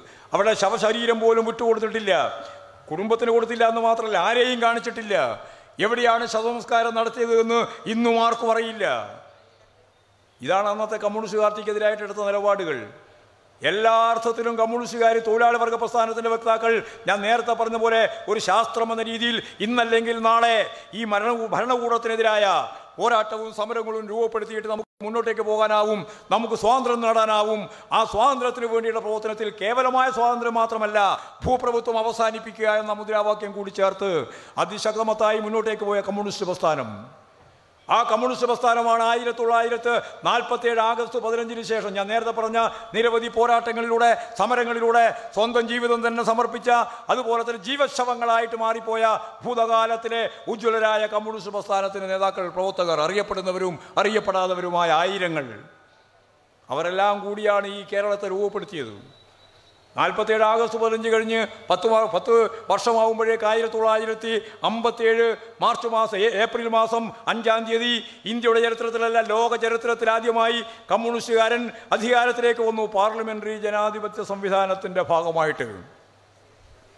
നമ്മളെ ഗവർണർ പറയുകയാണ് ഇതെല്ലാം അങ്ങന്ന് വന്നിയാണ്. ഈ പാർലമെന്ററി ജനാധിപത്യ സംവിധാനം എന്ന് പറയുന്നത് എവിടെ നിന്ന് വന്നെയാണ് പാർലമെന്ററി ജനാധിപത്യ സംവിധാനം എന്ന് പറഞ്ഞ് ഇംഗ്ലണ്ടുമായി ബന്ധപ്പെട്ടതാണ്. ഇംഗ്ലീഷുകാരുമായി ബന്ധപ്പെട്ടതാണ്. അല്ലാണ്ട് ഇന്ത്യയിലുണ്ടായതല്ല. ജനാധിപത്യം ആയിരത്തി നിങ്ങൾക്കെല്ലാം ആയിരത്തി എഴുന്നൂറ്റി എൺപത്തൊൻപത് ഫ്രഞ്ച് വിപ്ലവം. ആയിരത്തി എഴുന്നൂറ്റി എൺപത്തൊമ്പതിലാണ് ചരിത്രത്തിൽ ആദ്യമായി ലോകത്ത് മുതലാളിത്ത വിപ്ലവം എന്ന് പേരുള്ള ഭൂപ്രഭുത്വം അവസാനിപ്പിക്കാനുള്ള ജനാധിപത്യ വിപ്ലവം ഭൂഷുവ ജനാധിപത്യ വിപ്ലവം അരങ്ങേറിയത് ആയിരത്തി എഴുന്നൂറ്റി എൺപത്തൊമ്പതിൽ സമത്വത്തിന്റെ മുദ്രാവാക്യം സ്ത്രീ പുരുഷ സമത്വത്തിന്റെ മുദ്രാവാക്യം അതുപോലെ തന്നെ ജനാധിപത്യത്തിന്റെ മുദ്രാവാക്യം. അവിടെ നിന്നാണ് ഇങ്ങോട്ടേക്ക് വന്നത് ലോകത്തിന്റെ വിവിധ മേഖലയിലേക്ക്. ഏതെങ്കിലും രാജ്യത്തിന്റെ ഭാഗമായി ഉദാത്തമായ ഏറ്റവും പ്രധാനപ്പെട്ട അനുഭവങ്ങളും അതിനടിസ്ഥാനപ്പെടുത്തി ലോകം കണ്ട ഏറ്റവും പ്രധാനപ്പെട്ട ഈ ലോകത്തെ മാറ്റി തീർക്കാനുള്ള നിലപാടുകളും ഒന്നും ഇവിടെ വെള്ളം കടക്കാതെ അറ പോലെയാക്കി രൂപപ്പെടുത്താൻ കഴിയുമെന്നാണ് ഗവർണറെ പോലെയുള്ള ആളുകൾ ധരിക്കുന്നതെങ്കിൽ അദ്ദേഹത്തിന് ഇതിനെപ്പറ്റി വ്യക്തതയില്ല എന്ന് മാത്രമേ എനിക്ക് പറയാൻ സാധിക്കുകയുള്ളൂ. ഇതിനേക്കാളും ശക്തിയായ കയ്യടി വരുമായിരുന്നു. ഞാൻ വേറൊരു പദം ഉപയോഗിച്ചിരുന്നെങ്കിൽ ബോധപൂർവമാണ് വിട്ടത്. കയ്യ കയ്യടിപ്പിക്കാൻ വേണ്ടിയല്ല ഞാൻ ഈ പ്രസംഗിക്കുന്നത്. പക്ഷെ നിങ്ങൾ മനസ്സിലാക്കിക്കൊള്ളണം അതാ കാര്യം. അദ്ദേഹത്തിന് ഇത് മനസ്സിലാവണ്ടേ ഇത് ഏതെല്ലാം ആശയങ്ങൾ എങ്ങനെയൊക്കെയാണ് വന്നതിനെ പറ്റി ഒരു വ്യക്തതയില്ലാതെ കയറി അങ്ങോട്ട് കടന്നാക്രമിക്കുകയാണ്. മാർസം വന്നത് അതീ താഴെയുള്ള നമ്മുടെ ആർ എസ് എസിന്റെ ചെറിയ കബ കബഡിക്ക് പോകുന്ന കുട്ടികൾ പറയുന്ന അതേ അതേ കാര്യമാണ് ഗവർണർ പറഞ്ഞുകൊണ്ടിരിക്കുന്നത്. ഗവർണർ അങ്ങനെ പറയാം നിലവാരം വേണം പറയുന്നതിന്. തോന്നിയ പോലെ എന്തെങ്കിലും പറയല്ല വേണ്ടേ? ഒരു ഗവർണറുടെ സ്ഥാനത്തിരിക്കുന്ന ഒരാൾ സംസാരിക്കുമ്പോൾ ആ സംസാരിക്കുന്നവർ എന്തായിരിക്കും എന്നുള്ളതിനെ പറ്റി ജനങ്ങൾ വിശകലനം ചെയ്യുന്നത് അദ്ദേഹത്തിന്റെ നാവിൽ നിന്ന് വരുന്ന ഭാഷ കൂടി ചേർത്തുകൊണ്ടാണ്. ഞാൻ പറഞ്ഞു വരുന്നത് അതിലേക്ക് കടക്കാനല്ല. ഞാൻ അതിലേക്ക് വരുന്നുണ്ട് ഞാൻ പിന്നീട് വരുന്നുണ്ട്. വളരെ വ്യക്തതയോടുകൂടി ഞാൻ ചൂണ്ടിക്കാണിക്കാൻ ആഗ്രഹിക്കുന്നത് ഇങ്ങനെയുള്ള വലിയ പോരാട്ടങ്ങളിലൂടെ സമരങ്ങളിലൂടെ വളർന്നു വന്നതാണ് ഇന്ത്യയും അതിന്റെ ഭാഗമായി കേരളവും. കേരളം ആയിരത്തി തൊള്ളായിരത്തി അമ്പത്തി ഏഴ് മുതൽ അതിന് മുമ്പേ അതിന് പ്രാപ്തമായി അമ്പത്തിയേഴിൽ ഗവൺമെന്റ് വന്നു. ഗവൺമെന്റ് വന്നപ്പോൾ ആയിരത്തി തൊള്ളായിരത്തി അമ്പത്തി ഏഴ് ഏപ്രിൽ മാസം പതിനൊന്നിന് കുടി ഒഴിപ്പിക്കരുത് എന്ന ഓർഡിനൻസ് വന്നു. അതാണ് ഈ കേരളത്തെ കേരളമാക്കി മാറ്റിയത്. ഒഴിപ്പിക്കരുത്. ഇനി ഒരു കുടിയാരെയും ഒഴിപ്പിക്കാൻ പാടില്ല. വെച്ചുകാണലും കങ്കാണിയും നൂരിയും മുക്കാലും വാശിയും വണ്ണാത്തി മാറ്റിമുടക്കലും കല്ലും തോലും വെച്ചുകെട്ടലും കൂലിയാൻ ഉൾപ്പെടെയുള്ള ഇപ്പോൾ പറഞ്ഞാൽ ആർക്കും മനസ്സിലാവില്ല. അതുകൊണ്ട് തന്നെ ഞാൻ പറഞ്ഞ ബോധപൂർവം പറഞ്ഞു ഇങ്ങനെയൊക്കെ ഉണ്ടായിരുന്നു എന്ന് മനസ്സിലാവണമല്ലോ അതുകൊണ്ട് ഞാൻ പറഞ്ഞതാണ് ഇതൊക്കെ അനുഭവിച്ച ജനതയാണ് ഈ കേരളത്തിലുള്ളത്. ആ കേരളത്തിലുള്ള ജനതയോട് പറയാണ് ഇനി നീ നിന്റെ ഭൂമിയിൽ നിന്ന് ഇറങ്ങണ്ട നിന്റെ കുടികിടപ്പിൽ നിന്ന് ഇറങ്ങണ്ട. അത് ആയിരത്തി തൊള്ളായിരത്തി അമ്പത്തേഴ് ഏപ്രിൽ അഞ്ച് കഴിഞ്ഞ് ആറാമത്തെ ദിവസം പതിനൊന്നാം തീയതി ഓർഡിനൻസായി പ്രഖ്യാപിച്ചപ്പോൾ നിൽക്കാൻ ഒരിടം കിട്ടി. കേരളത്തിലെ മനുഷ്യന് നിൽക്കാൻ ഒരിടം. നിൽക്കാൻ ഇടം കിട്ടിയാലാണ് തന്റെ ഇടം ഉണ്ടാകുക അങ്ങനെയാണ് തന്റെ ഇടിയായത് ഇന്ത്യയിലെ മറ്റു ചില സംസ്ഥാനങ്ങളിലെ മനുഷ്യർക്ക് ഇപ്പോഴും തന്റെ ഇടില്ല കാരണം നിൽക്കാൻ ഇടം കിട്ടിയിട്ടില്ല. ഇവിടെ നിൽക്കാൻ ഇടം കിട്ടിയപ്പോൾ തന്റെ ഇടിയായി ആയിരത്തി തൊള്ളായിരത്തി അമ്പത്തി ഏഴിലെ ഗവൺമെന്റ് നിയമം നിർമ്മിക്കാനൊന്നും പറ്റിയില്ല. ആയിരത്തി തൊള്ളായിരത്തി അമ്പത്തി ഏഴ് കഴിഞ്ഞ് അമ്പത്തൊമ്പതിൽ ഗവൺമെന്റ് പോയി. ആയിരത്തി തൊള്ളായിരത്തി അറുപത്തി ഏഴിൽ വീണ്ടും സഖാ വി എം എസിന്റെ ഗവൺമെന്റ് തന്നെ വന്നു. ആയിരത്തി തൊള്ളായിരത്തി അറുപത്തി ഒൻപത് ഒക്ടോബർ പതിനാലിന് കൃഷിഭൂമി കൃഷിക്കാരന് എന്ന് കോൺഗ്രസ്സുകാർ മുദ്രാവാക്യം വിളിച്ച മുപ്പത്തൊന്നിലെ കറാച്ചി സമ്മേളനത്തിന് മുദ്രാവാക്യം.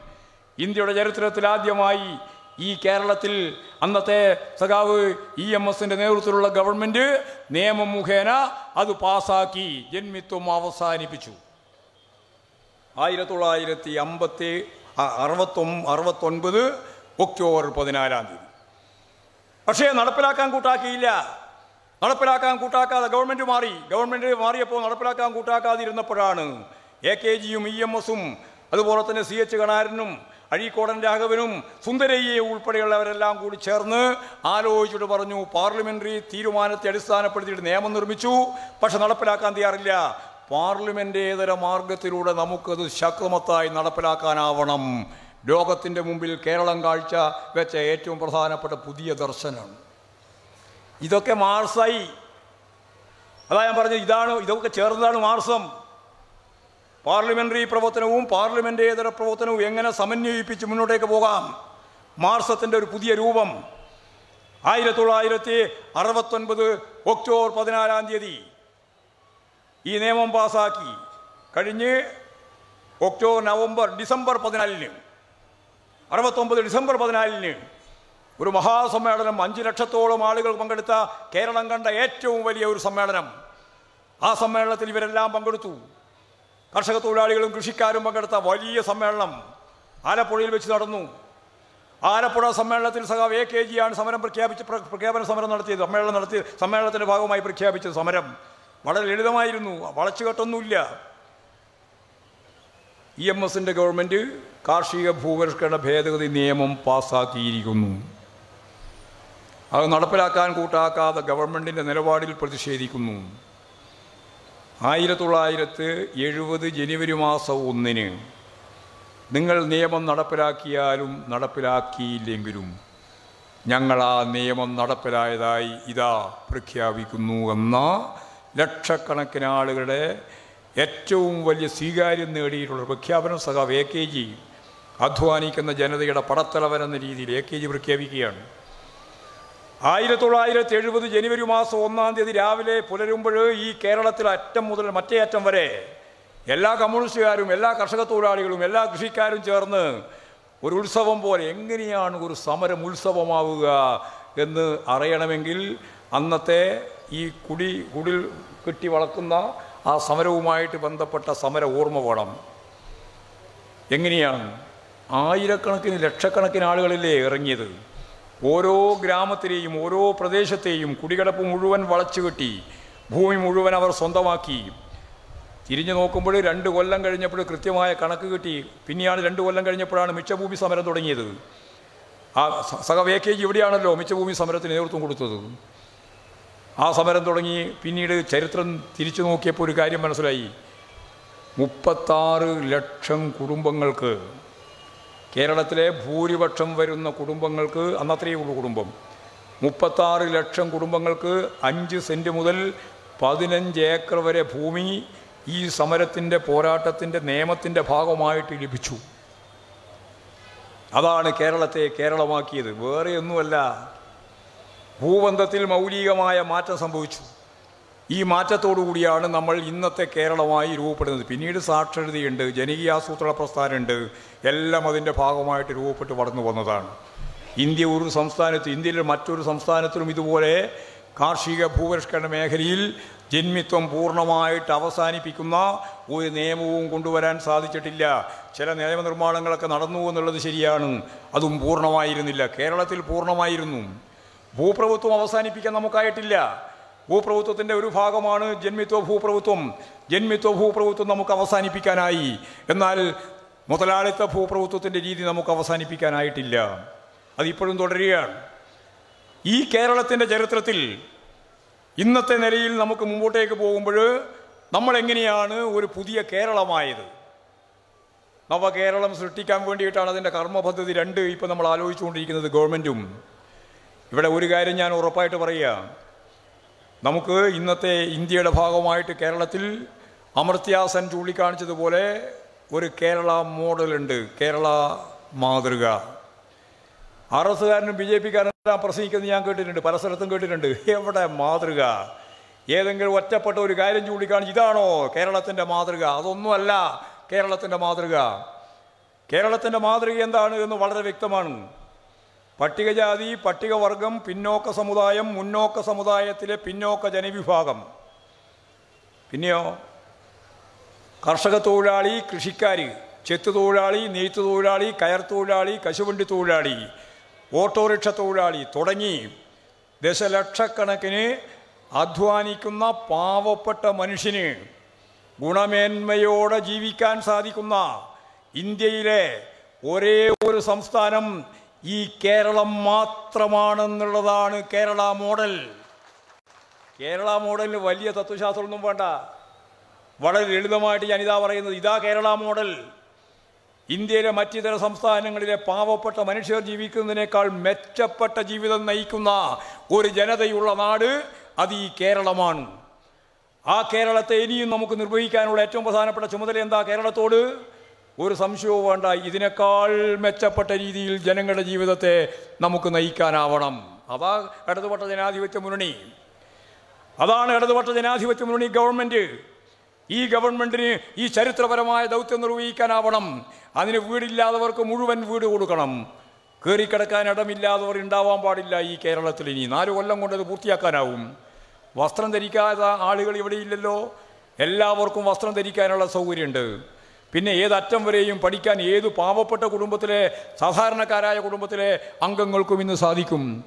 ലോകോത്തരവുമായ ചികിത്സ നൽകാൻ കഴിയുമെന്ന് കോവിഡ് പത്തൊമ്പതിന്റെ പശ്ചാത്തലത്തിൽ ലോകത്തെ വിസ്മയിപ്പിച്ച നാടാണ് ഈ കേരളം. നമ്മുടെ മുമ്പിലുള്ള ഏറ്റവും പ്രധാനപ്പെട്ട പ്രശ്നം എന്താ? ലോകത്തിലെ ഏറ്റവും പ്രധാനപ്പെട്ട എല്ലാവരുടെയും മുമ്പിൽ നമുക്ക് പറയേണ്ടി വരുന്ന ഒരു കാര്യം വേറെ ഒന്നുമല്ല തൊഴിലില്ലായ്മയാണ്. ആ തൊഴിലില്ലായ്മ പ്രശ്നം നമുക്ക് നാല് കൊല്ലം കൊണ്ട് പരിഹരിക്കാൻ ആവശ്യമായ ദിശ ദിശയിലേക്ക് മുമ്പോട്ടേക്ക് പോകാൻ കഴിയും. നമ്മൾ ഇന്നേ വരെ കഴിഞ്ഞ പാർല കഴിഞ്ഞ അസംബ്ലി തെരഞ്ഞെടുപ്പ് വരെ തൊഴിലില്ലായ്മയെ ഇതുപോലെ അഭിസംബോധന ചെയ്ത ഒരു പ്രകടന പത്രിക ഇറക്കിയിട്ടില്ല. നമ്മൾ പറഞ്ഞു ഇരുപത് ലക്ഷം അഭ്യസ്തവിദ്യരായ യുവതി യുവാക്കൾക്ക് നാല് കൊല്ലം അഞ്ച് കൊല്ലം കൊണ്ട് തൊഴിൽ കൊടുക്കും. അത് വെറുതെ എഴുതി വെച്ചതല്ല. തൊള്ളായിരത്തിന്റെ കൂട്ടത്തിൽ ഒന്ന് കിടക്കട്ടെ എന്ന് എഴുതി വെച്ചതല്ല. ആ തൊള്ളായിരം പദ്ധതിയിൽ ഏറ്റവും പ്രധാനപ്പെട്ട ഒന്നാണ് ഇരുപത് ലക്ഷം അഭ്യസ്തവിധരായ യുവതി യുവാക്കൾക്ക് തൊഴിൽ. അത് കൊടുക്കന്നെ വേണം. ഇപ്പോൾ ഞങ്ങൾ അതിന്റെ സർവേ എടുത്തു. ഒന്നാമത്തെ സർവേ കഴിഞ്ഞു. രണ്ടാമത്തെ സർവേ ഇപ്പോൾ പൂർത്തിയായി വരികയാണ്. ഏതാണ്ട് ഇരുപത്തൊമ്പത് ലക്ഷം വരുന്ന ആളുകൾ പ്ലസ് ടു കഴിഞ്ഞവരല്ല. ഗ്രാജുവേഷനും പോസ്റ്റ് ഗ്രാജുവേഷനും കഴിഞ്ഞ്. ഒരു ഇരുപത്തിരണ്ട് വയസ്സ് കഴിഞ്ഞ് നാൽപ്പത് വയസ്സിനിടയിൽ ഈ കേരളത്തിലുണ്ട്. അമ്പത്തിമൂന്ന് ലക്ഷം ആളുകൾ പ്ലസ് ടു കഴിഞ്ഞ് അമ്പത്തൊൻപത് വയസ്സ് വരെ ജോലിക്ക് കാത്തിരിക്കുന്നവർ ഈ കേരളത്തിലുണ്ട്. കൃത്യമായ കണക്ക് നമ്മുടെ കയ്യിലുണ്ട്. എൺപത് ലക്ഷം വീടുകളിൽ കുടുംബശ്രീ അംഗങ്ങൾ കയറി എടുത്ത കൃത്യമായ കണക്ക്. പോർട്ടൽ രജിസ്റ്റർ ചെയ്തുകൊണ്ടിരിക്കുകയാണ് ഇപ്പോൾ ഇരുപത്തൊമ്പത് ലക്ഷം വരെ ആ രജിസ്ട്രേഷൻ തുടരേണ്ടി വരും. അതിൽ ഇരുപത് ലക്ഷം ആളുകൾക്ക് തൊഴിൽ കൊടുക്കണം. ആ ഇരുപത് ലക്ഷം ആളുകൾക്ക് തൊഴിൽ കൊടുക്കാൻ നമുക്ക് കഴിയും.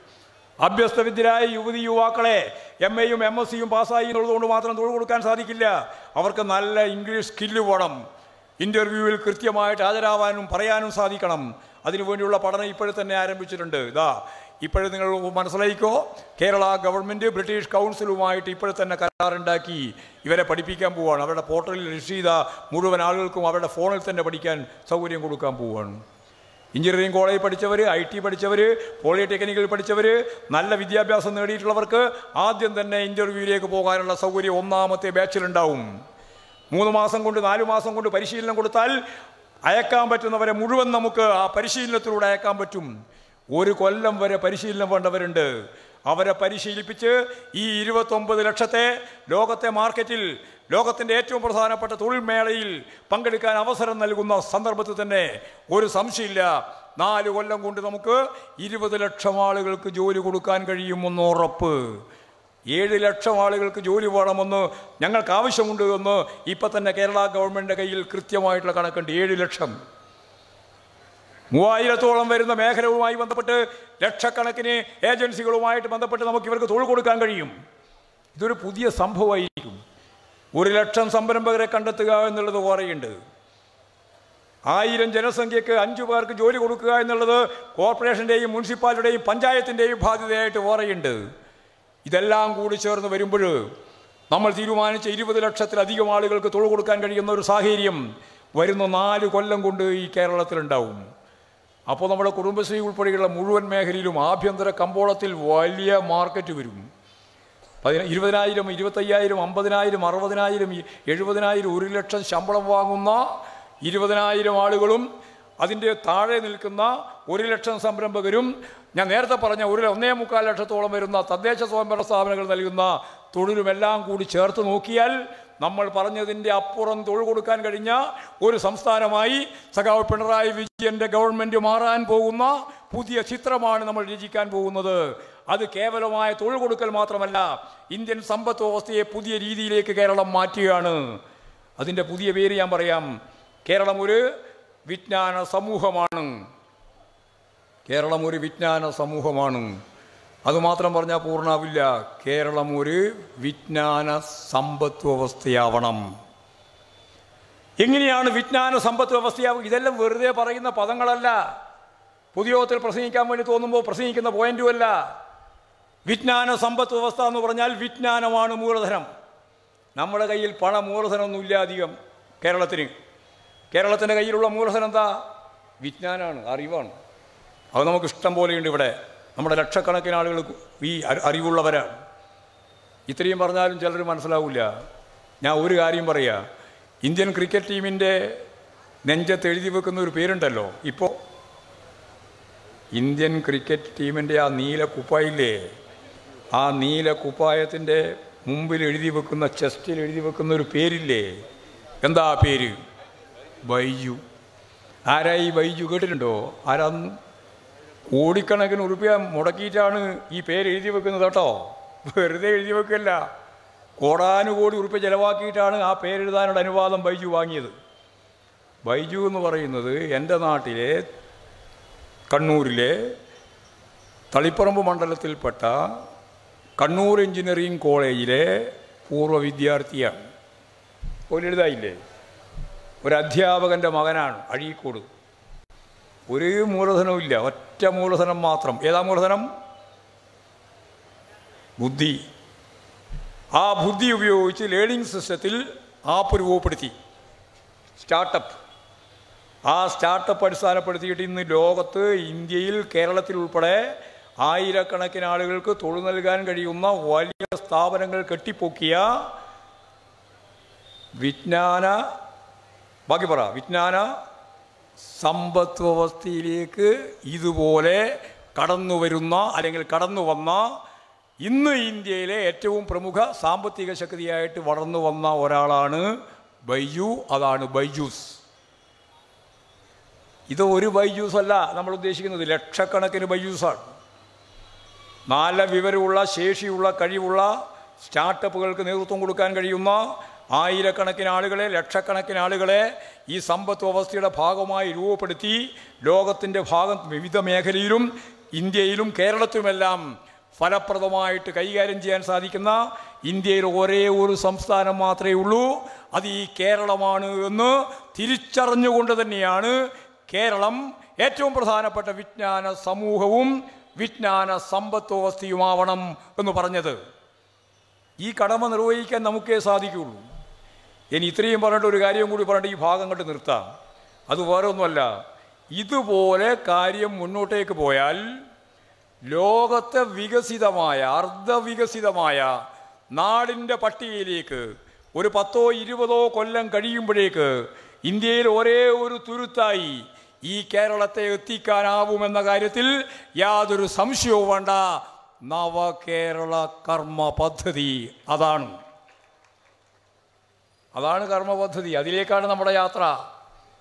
ഇനി ഇത്രയും പറഞ്ഞിട്ട് ഇതാണ് നമ്മുടെ ലക്ഷ്യം എന്ന് പറയുമ്പോൾ ഓരോ നിമിഷവും നവീകരിക്കണം. അതിന്റെ ഭാഗമായിട്ടാണ് നമ്മൾ കേരളയിൽ പറയുന്നത്. അതിന്റെ ഭാഗമായിട്ടാണ് കെ ഫോൺ പറയുന്നത്.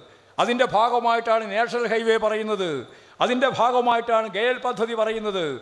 അതിന്റെ ഭാഗമായിട്ടാണ് കൂടംകുളത്തിൽ നിന്ന് വൈദ്യുതി ഇങ്ങോട്ട് വരണമെന്ന് പറയുന്നത്. ഞാൻ പറഞ്ഞതും പറയാത്തതുമായ ആയിരക്കണക്കിന് പദ്ധതികളും പരിപാടികളും ചേർത്തുകൊണ്ടാണ് കേരളത്തെ കേരള ജനതയെ നവീകരിക്കുക. ആ നവീകരണ പ്രവർത്തനത്തിന് മുഴുവൻ എതിരായി നിൽക്കുകയാണ് പോസിറ്റീവായി നിൽക്കുന്നതിന് പകരം നെഗറ്റീവായിട്ട് നിൽക്കുകയാണ്. ഒരു പ്ലാറ്റ്ഫോം തയ്യാറാക്കിയിട്ട് കോൺഗ്രസ് അതിന്റെ ഒപ്പം തന്നെ ലീഗ് അതിന്റെ ഒപ്പം തന്നെ ബി ജെ പി അതിന്റെ ഒപ്പം തന്നെ എസ് ഡി പി ഐ അതിന്റെ ഒപ്പം തന്നെ ജമാഅത്ത് ഇസ്ലാം. ഒരേ പ്ലാറ്റ്ഫോമിൽ നമുക്കെതിരായി. അതിന്റെ ഒപ്പം ഒരാളും കൂടി ഇപ്പോൾ ചേർന്നിരിക്കും ഞാൻ പറയുന്നില്ല ആരാന്ന്. ഒരാളും കൂടി ഈ പ്ലാറ്റ്ഫോമിൽ ചേർന്നിരിക്കുകയാണ്. ഇവരെല്ലാം നേരിടാനുള്ള കഴിവും ത്രാണിയുമുള്ള ഇടതുപക്ഷ ജനാധിപത്യ മുന്നണിക്ക് ആരെയാണ് നേരിടാൻ ആവാത്തത് എന്ന കാര്യം മാത്രമേ നിങ്ങൾ ആലോചിക്കേണ്ടിയുള്ളൂ. അപ്പോൾ പിന്നെ ഞാൻ പറയാണ്ട് പറഞ്ഞ ആളെയും നിങ്ങൾക്ക് നേരിടാം. ഒരു സംശയവും വേണ്ട. ഇവിടെ ഈ കേരളത്തെ വികസിത പാതയിലൂടെ മുമ്പോട്ടേക്ക് നയിക്കാനുള്ള പ്രതിജ്ഞാബദ്ധതയോടുകൂടി ഗവൺമെന്റ് പോകുമ്പോൾ നെഗറ്റീവായ ഒന്നും നമ്മുടെ മനസ്സിലേക്ക് വരുന്നില്ല. എല്ലാം പോസിറ്റീവായ രീതിയിലേക്ക് കേരളത്തെ നയിക്കുക ചെയ്യുക. അങ്ങനെ നയിക്കാൻ പുറപ്പെടുമ്പോൾ അതിനെതിരായി കേന്ദ്ര ഏജൻസികളുണ്ട് കേന്ദ്ര ഗവൺമെന്റ് ഉണ്ട് അതേപോലെ തന്നെ കോൺഗ്രസിന്റെ ആളുകളുണ്ട് യു ഡി എഫിന്റെ ആളുകളുണ്ട് വർഗീയവാദികളുണ്ട് ആർ എസ് എസും ബി ജെ പി ഉൾപ്പെടെയുണ്ട്. അതോടൊപ്പം തന്നെ ന്യൂനപക്ഷ വർഗീയതയും എല്ലാം നമുക്കെതിരായിട്ടുണ്ട്. അതെല്ലാം നിന്നുകൊണ്ട് തന്നെയാണ്. അതെല്ലാം മുന്നിൽ കണ്ടുകൊണ്ട് തന്നെയാണ് നമുക്ക് ശക്തമത്തായിട്ട് മുന്നോട്ടേക്ക് പോകാൻ സാധിക്കേണ്ടത്. സാധിക്കണം. ഏത് പ്രതികൂല സാഹചര്യത്തിലും നമുക്കിതിനെ അഭിമുഖീകരിക്കാനാവണം. അങ്ങനെ അഭിമുഖീകരിക്കുന്ന ഘട്ടത്തിലുള്ള ഏറ്റവും പ്രധാനപ്പെട്ട ചില പ്രശ്നങ്ങളാണ് ഇന്ന് ഈ ക്യാമ്പയിൻ നടത്താൻ ഞങ്ങളെ തീരുമാനിക്കുന്നതിലേക്ക് എത്തിച്ചത്. അത് വേറൊന്നുമല്ല കേന്ദ്ര ഗവൺമെന്റ് ഫെഡറൽ സംവിധാനത്തിന്റെ ഭാഗമായിട്ട് സംസ്ഥാനങ്ങൾക്ക് നൽകേണ്ടുന്ന അധികാര അവകാശങ്ങളൊന്നും കൊടുക്കുന്നില്ല എന്ന് മാത്രമല്ല ഉണ്ടായിരുന്നത് പോലും പിടിച്ചെടുത്തുകൊണ്ട് എല്ലാം കേന്ദ്രീകൃതമാക്കിക്കൊണ്ട് ജി എസ് ടിയോടുകൂടി നമുക്ക് സ്വന്തമായിട്ട് ഒന്നും ശേഖരിക്കാനാവാതെ അവിടെ നിന്ന് കിട്ടുന്നത് മാത്രം വാങ്ങി ജീവിച്ച് മുമ്പോട്ടേക്ക് പോകേണ്ട അവസ്ഥയിലേക്ക് എല്ലാ സംസ്ഥാനങ്ങളും എത്തിയിരിക്കുകയാണ്. അതിപ്പോൾ ഈ ഇടതുപക്ഷം ഭരിക്കുന്ന സംസ്ഥാനമായ കേരളം മാത്രമല്ല ബി ജെ പി ഭരിക്കുന്ന ഉത്തരേന്ത്യയിലെ വിവിധ സംസ്ഥാനങ്ങൾ ഉൾപ്പെടെ കോൺഗ്രസിനധികം സംസ്ഥാനമൊന്നുമില്ല രാജസ്ഥാൻ മാത്രമേ ഉള്ളൂ അത് ഉൾപ്പെടെ എല്ലാവരും എത്തിയിരിക്കുകയാണ്. പിന്നീട് ഡി എം കെ ആണ് അതുപോലെ തന്നെ മറ്റ് പ്രാദേശിക പാർട്ടികളാണ്. എല്ലാ സംസ്ഥാനങ്ങൾക്കും വളരെ ബാധകമാണ്. നമുക്ക് ഈ കേരളത്തിന് സത്യം പറഞ്ഞാൽ കേന്ദ്ര ഗവൺമെന്റ് ഒരു കൊല്ലം കൊണ്ട് തരേണ്ടിയിരുന്ന ജി എസ് ടി വീതവും നഷ്ടപരിഹാരം ഉൾപ്പെടെ ഏതാണ്ട് ഇരുപത്തി ഒൻപതിനായിരം കോടി ഉറുപ്പിക ഈ വർഷം ഈ ഇരുപത്തിരണ്ട് ഇരുപത്തി മൂന്നിൽ നമുക്ക് തരില്ല എന്ന് കോൺഗ്രസിന്റെ അതുപോലെ തന്നെ ഇവരുടെ എല്ലാം തന്നെ ചിങ്കിടിയോടുകൂടി ഇവരെല്ലാം പൂർണമായിട്ട് നമുക്കെതിരാണല്ലോ. ഞാൻ ഈ പ്ലാറ്റ്ഫോമിൽ നിൽക്കുന്നവരെ മുഴുവൻ അത് കാണി അതേപോലെ നിർത്തുകയാണ്. എന്നിട്ട് ബി ജെ പി ഗവൺമെന്റ് നമ്മളോട് പറയുകയാണ് ഇതൊന്നും തരില്ല. മാത്രമല്ല നമ്മൾ എവിടെ നിന്നും കടം വാങ്ങിയിട്ടുണ്ടെങ്കിൽ ആ കടം വാങ്ങുന്നതിന് വേണ്ടി ഗവൺമെന്റ് ഗ്യാരണ്ടി നിന്നിട്ടുണ്ടെങ്കിൽ അത് പെൻഷൻ കൊടുക്കുന്ന ഫണ്ടായാലും തിരക്കേടില്ല. കിഫ്ബിയുടെ ഭാഗമായിട്ട് കൊടുക്കുന്ന ഫണ്ടായാലും തിരക്കേടില്ല. അത്തരം ഫണ്ടെല്ലാം നിങ്ങളുടെ കടമായി കണക്കാക്കിയിട്ട് നിങ്ങൾക്ക് കടം വാങ്ങാനുള്ള അതിർത്തി ഞങ്ങൾ നിർണയിച്ചതിന്റെ അപ്പുറത്തേക്ക് കടക്കാൻ അനുവദിക്കില്ല. കടം വാങ്ങാനും പറ്റില്ല. അപ്പോൾ പണോട്ട് തരികയും ചെയ്യില്ല. കടോട്ട് വാങ്ങാനും പറ്റില്ല. അപ്പോൾ അതിന്റെ ഇടയിൽ നട്ടം തിരിഞ്ഞ് ഈ കേരളം ഈ പറഞ്ഞ ഞാൻ നേരത്തെ പറഞ്ഞ ആ ഒരു പശ്ചാത്തലം ഉണ്ടല്ലോ. ആ കേരളത്തെ ഇന്നത്തെ കേരളത്തെ ഇനി ഒരിഞ്ച് മുന്നോട്ടേക്ക് പോകാൻ അനുവദിക്കില്ല എന്ന പ്രതിജ്ഞയാണ് കേന്ദ്ര ഗവൺമെന്റിന്റെ പ്രതിജ്ഞ. നരേന്ദ്രമോദിയുടെ ബി ജെ പിയുടെ നിലപാട്. അതിന് പൂർണമായി പിന്തുണ നൽകുകയാണ് കോൺഗ്രസ്സുകാർ യു ഡി എഫുകാർ ചെയ്തുകൊണ്ടിരിക്കുന്നത്. ഒരു വികസന പ്രവർത്തനവും നടത്താൻ പാടില്ല എന്നാണ് മാധ്യമങ്ങൾ പറയുന്നത്. കാരണം വികസന പ്രവർത്തനം നടത്തിയാൽ ജനങ്ങളോടൊപ്പം ചേർന്ന് ഗവൺമെന്റ് മുന്നോട്ടേക്ക് പോയാൽ ഒന്നാമത്തെ ഘട്ടം കഴിഞ്ഞ് രണ്ടാമത്തെ ഘട്ടത്തിലേക്ക് ഗവൺമെന്റ് പിണറായി വിജയൻ ഗവൺമെന്റ് കടന്നു വരാൻ ഇടയായത് ഈ വികസന പ്രവർത്തനം ചൂണ്ടിക്കാണിച്ചുകൊണ്ടാണ് എന്ന് അവർക്ക് മനസ്സിലായി മാധ്യമങ്ങൾക്ക് മനസ്സിലായി. അവർ പഠിച്ച പണി പതിനെട്ട് നോക്കിയിരുന്നു തോൽപ്പിക്കാൻ പക്ഷെ നടന്നില്ല. അപ്പോൾ അവർക്കൊരു കാര്യം മനസ്സിലായി ഇനി വികസനം നടന്നാൽ അടുത്ത തെരഞ്ഞെടുപ്പിലും പോക്കാണ്. അതുകൊണ്ട് എന്തു വേണം? ഇനി വികസനം നടത്താനേ പാടില്ല. ഇനി ഒരു വികസന പ്രവർത്തനവും കേരളത്തിൽ അനുവദിക്കരുത്. ഇതാണ് പച്ചയായിട്ട് പറയുന്ന രാഷ്ട്രീയം. അതിന് വേറെന്തൊക്കെയോ അതിന്റെ ഒപ്പം ചേർത്ത് പറയുന്നു എന്ന് മാത്രമേ ഉള്ളൂ. കേരളയിൽ ഉൾപ്പെടെയുള്ള ഓരോന്നിനെ പറ്റി പറയുമ്പോൾ ഇതാ കാര്യം. ഇത് വെച്ചു കൊടുക്കാൻ നമുക്ക് വെച്ചു പുലർത്താൻ നമുക്ക് പറ്റില്ല. നമുക്ക് ഈ പ്രതികൂല സാഹചര്യത്തിലും മുന്നോട്ടേക്ക് പോകാനാവണം. അതിന് പോകാൻ ആവശ്യമായ രീതിയിലുള്ള നല്ല പ്രവർത്തനങ്ങൾ നമ്മൾ നടത്തിയിട്ട് കാര്യമില്ല. അപ്പോൾ ഗവൺമെന്റ് എടുത്തുകൊണ്ടിരിക്കുന്ന സാമ്പത്തിക നിലപാടുകൾക്കെതിരായി വലിയ പോരാട്ടങ്ങളും സമരങ്ങളും നടത്തിക്കൊണ്ട് മാത്രമേ നമുക്ക് കേരളത്തിൽ മുമ്പോട്ടേക്ക് പോകാനാവുള്ളൂ. ഞാൻ നേരത്തെ പറഞ്ഞത് ഒരു കാര്യം കൂടി പറഞ്ഞിട്ട് ഇപ്പോൾ വർത്തമാന കാലഘട്ടത്തിൽ ഒരു പ്രശ്നം അതിന്റെ ഒപ്പം ചേർത്ത് പറഞ്ഞേണ്ടതുണ്ട്. അതെന്താ? ഇന്ത്യ ആദ്യം സ്വാതന്ത്ര്യം കിട്ടിയപ്പോൾ നാൽപ്പത്തേഴ് ആഗസ്റ്റ് പതിനഞ്ചിന് ഇന്ത്യൻ മുതലാളിമാരെല്ലാം വളരെ വളരെ ചെറിയ മൂലധനമുള്ള മുതലാളിമാരാണ്. ആദ്യത്തെ മുതലാളിമാരെ പറ്റി കേട്ടിട്ടുണ്ടോ നിങ്ങൾ? ഞാനൊക്കെ ചെറുതായിരിക്കുമ്പോൾ കേട്ട രണ്ട് മുതലാളിമാരുണ്ട്. ആരൊക്കെയാ? ടാറ്റയും ബിർളയും. ഇപ്പോൾ ടാറ്റയും ബിർളയും ഒന്നുമില്ല. നൂറ്റി പതിനാറ് നൂറ്റി പതിനാറാമത്തെ സ്ഥാനമാണ് അപ്പോൾ ഒന്നാം സ്ഥാനത്തേക്ക് എത്തിയിട്ടില്ലെങ്കിലും രണ്ടാം സ്ഥാനത്ത് ആരാ? ഒന്നാം സ്ഥാനത്ത് എത്തിയില്ല രണ്ടാം സ്ഥാനത്ത് ആരാ? അദാനി. പിന്നെ കുറച്ചുകൂടി അപ്പുറം കഴിഞ്ഞാൽ അംബാനി. ഈ അദാനിയും അംബാനിയും ഒക്കെ എങ്ങനെയാ ഇങ്ങനെ രണ്ടാം സ്ഥാനത്തും നാലാം സ്ഥാനത്തൊക്കെ എത്തിയേ? അതിനൊരു ചരിത്രമുണ്ട്. അതും കൂടി പറഞ്ഞിട്ട് ഞാൻ ആ ഭാഗം നിർത്താം. അതെങ്ങനെയാ അറിയോ? അതിന്റെ സാങ്കേതിക പേരും അതൊന്നും ഞാൻ ഉദ്ദേശിക്കുന്നില്ല. ഞാൻ വാർത്താ സമ്മേളനം ഞാൻ സെക്രട്ടറി അതിന് ചേർന്ന് നടത്തിയ വാർത്താ സമ്മേളനത്തിൽ എന്നോട് ചോദിച്ചപ്പോൾ ഞാനതൊക്കെ ഏതാണ്ട് ഒന്നേകാൽ മണിക്കൂർ നേരം നീട്ടുന്ന വാർത്താ സമ്മേളനമായിരുന്നു. അത് വിശദീകരിച്ചിട്ടുണ്ട്. പത്രക്കാരോട്. പത്രക്കാരോട് ചോദിച്ച ചോദ്യത്തിന് മറുപടി പറയുക ചെയ്തത്. ഇവിടെ ഞാനൊരു കാര്യം പറയാം. ഭൂപ്രഭുത്വം അവസാനിപ്പിക്കുന്ന വിപ്ലവമാണ് ജനാധിപത്യ വിപ്ലവം. ആ ഭൂപ്രഭുത്വം കേരളത്തിൽ അവസാനിപ്പിച്ചിട്ടില്ല. അവരുടെ കയ്യിലുള്ള സമ്പത്തൊന്നും ഭൂഷ്വാസിക്ക് കിട്ടിയില്ല. അതുകൊണ്ടാണ് നമ്മുടെ പത്മനാഭസ്വാമി ക്ഷേത്രത്തിന്റെ കല്ലറകളിൽ സൂക്ഷിച്ച സമ്പത്ത് മുഴുവൻ അവിടെ തന്നെ നിൽക്കുന്നത്. ഭൂഷ്വാ ജനാധിപത്യ വിപ്ലവം നടന്നിരുന്നുവെങ്കിൽ അതെല്ലാം പിടിച്ചു പറിച്ചു കൊണ്ടുപോകുമായിരുന്നു ഭൂഷ്വാസിയുടെ കയ്യിലേക്ക് ആ പണം മുഴുവൻ എത്തുമായിരുന്നു ആ സമ്പത്ത് മുഴുവൻ എത്തുമായിരുന്നു. അവർ വലിയ ആസ്തിയുള്ള മുതലാളിമാരായിട്ട് മാറുമായിരുന്നു പക്ഷെ മാറിയില്ല. ഒന്നും കിട്ടിയില്ല കാര്യമായിട്ട് പക്ഷെ ഇപ്പോൾ കിട്ടി. എങ്ങനെയാണ് കിട്ടിയേ? ഇപ്പോഴെങ്ങനെ? ഇതിന് ഇതിന്റെ ഒരു പേരാണ് സാധാരണ നമ്മളെല്ലാം പറയുന്ന പിടിച്ചു പറിച്ചുണ്ടാക്കിയ പണം. കട്ട് പിടിച്ച് പറിച്ചുണ്ടാക്കുന്നതെന്ന് പറയില്ലേ? കപ്പൽ ഛേദം നടത്തിയിട്ട് അതുപോലെ തന്നെ കൊള്ള നടത്തിയിട്ട് അതുപോലെ രാജാവിനെ കൊന്നിട്ട് രാജ്ഞിയെ കൊന്നിട്ട് ചക്രവർത്തിയെ കൊന്നിട്ട് കിട്ടുന്ന പണം ഉണ്ടല്ലോ പിടിച്ചു പറിച്ചുണ്ടാക്കുന്ന പണം. ആ പണമാണ്. ആ പണത്തിനൊരു പേരുണ്ട്. ഏതായാലും ആ പേരങ്ങ് പറഞ്ഞളിയാ ആർക്കെങ്കിലും അറിയോ ആ പേര്? ആ മൂലധനത്തിനൊരു പേരുണ്ട്. ഏതായാലും ഇന്നത്തെ പുതിയ യോഗത്തിൽ വന്നിട്ട് ആ പേര് പഠിക്കുന്ന ഏതാ? ഏ? ഏ? തങ്ങാത്ത മുതലൊന്നുമില്ല അതൊന്നുമല്ല. അത് പറയാം. സഞ്ചിത മൂലധനം ശരിയായ ഉത്തരമാണ് സഞ്ചിത മൂലധനം പച്ച മലയാളി ഇത്രയേ ഉള്ളൂ. സഞ്ചിത മൂലം എന്ന് പറഞ്ഞ് പേടിക്കണ്ട. സഞ്ചിത മൂലധനം എന്ന് പറഞ്ഞാൽ കട്ട് വറച്ചുണ്ടാക്കുന്ന മൂലധനം. ഇവരുണ്ടാക്കിയതല്ല കട്ടുണ്ടാക്കിയതാണ് ആ മൂലധനം. അത് കിട്ടിയില്ല. ടാറ്റക്കും കിട്ടിയില്ല ബിർളക്കും കിട്ടിയില്ല പിന്നെ അത് വെച്ച് ഉൽപ്പാദിപ്പിക്കുന്ന മൂലധനത്തിനാണ് ആർജിത മൂലധനം എന്ന് പറയാം. അതിലേക്ക് ഞാൻ കടക്കുന്നില്ല. ഏതായാലും ഇവിടെ പൊതുമേഖലാ സ്ഥാപനങ്ങൾ വേണമെന്ന് ആയിരത്തി തൊള്ളായിരത്തി നാൽപ്പത്തിനാലിലെ ബ്രിട്ടൻ വുഡ് സമ്മേളനത്തിന്റെ ഭാഗമായി തീരുമാനിച്ച ജവഹർലാൽ നെഹ്റു ഇന്ത്യൻ പ്രധാനമന്ത്രിയായി വന്നപ്പോൾ നടപ്പിലാക്കിയ ഒരു പദ്ധതിയാണ്. പൊതുമേഖലാ സ്ഥാപനം പൊതുവിതരണ സംവിധാനം ഉൾപ്പെടെയെല്ലാം സബ്സിഡി ഉൾപ്പെടെയെല്ലാം അതിപ്പോൾ ഒരു കൊല്ലം കുറേ കൊല്ലം കഴിഞ്ഞപ്പോൾ ആയിരത്തി തൊള്ളായിരത്തി എൺപത്തഞ്ച് എൺപത്തി ആറ് ആ ഘട്ടമാകുമ്പോഴേക്ക് ലോക മുതലാളിത്തത്തിന് മനസ്സിലായി നമ്മുടെ വളർച്ച മുന്നോട്ടേക്കല്ല പിന്നോട്ടേക്കാണ്. അതുകൊണ്ട് ഇനി നമുക്ക് തടസ്സമായി നിൽക്കുന്ന ഈ പൊതുമേഖല വേണ്ട. ലോകത്തെവിടെയും വേണ്ട. ആഗോളവൽക്കരണം അങ്ങനെയാണ് വരുന്നത്. ഈ പൊതുമേഖല എന്തു വേണം? വിൽക്കണം. ആർക്ക് വിൽക്കണം? പൊതുമേഖല നിങ്ങൾ ആരെങ്കിലും വാങ്ങിയോ? ഈ തിരുവനന്തപുരത്ത് ഈ പൊതുയോഗത്തിൽ പങ്കെടുക്കുന്ന നിങ്ങൾ ആരെങ്കിലും പൊതുമേഖല വാങ്ങിയോ? വാങ്ങിയില്ല. പിന്നെ ആരാ വാങ്ങിയേ? ആരാ? ആര് വാങ്ങി? കോപ്പറേറ്റുകൾ വാങ്ങി. കോപ്പറേറ്റുകൾക്ക് വാങ്ങാൻ ആയിരക്കണക്കിന് കോടി വേണം. ഈ ആയിരക്കണക്കിന് കോടി ഉറുപ്പിക എവിടെ നിന്ന് കിട്ടി? വേഗം പറഞ്ഞു കയ്യിൽ കെട്ടിവെച്ചതാണോ അല്ല എവിടുന്നാ? ബാങ്കിൽ നിന്ന് വാങ്ങി. ആ ബാങ്കിൽ നിന്ന് വാങ്ങിയ പണം കൊണ്ടുപോയിട്ട് പൊതുമേഖലാ സ്ഥാപനം ചുളുവിലക്ക് വാങ്ങി. ആ ചുളുവിലക്ക് വാങ്ങിയ പൊതുമേഖലാ സ്ഥാപനങ്ങളെല്ലാം ഇവന്റെ ആസ്തിയായി. ആരൊക്കെ ആസ്തിയായി? ഈ പറയുന്ന കോർപ്പറേറ്റുകളുടെ ആസ്തിയായി. പ്രധാനമായിട്ടും ആസ്തി ആർക്കാ കിട്ടിയേ? അദാനിക്ക് അംബാനിക്ക്. ഇവന്റെ എല്ലാം കയ്യിലേക്ക് ഈ ആസ്തി ഇങ്ങനെ കുമിഞ്ഞുകൂടി.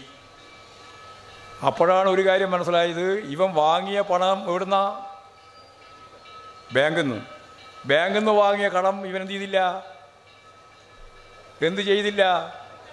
തിരിച്ചടച്ചില്ല. തിരിച്ചടക്കാതപ്പോൾ ആ പണം തിരിച്ചടക്കാതെ വന്നതിന്റെ പ്രതിസന്ധി പരിഹരിക്കാൻ ഗവൺമെന്റ് ഒരു കാര്യം ചെയ്തു ബാങ്കോട് പറഞ്ഞു എഴുതി തള്ളാൻ.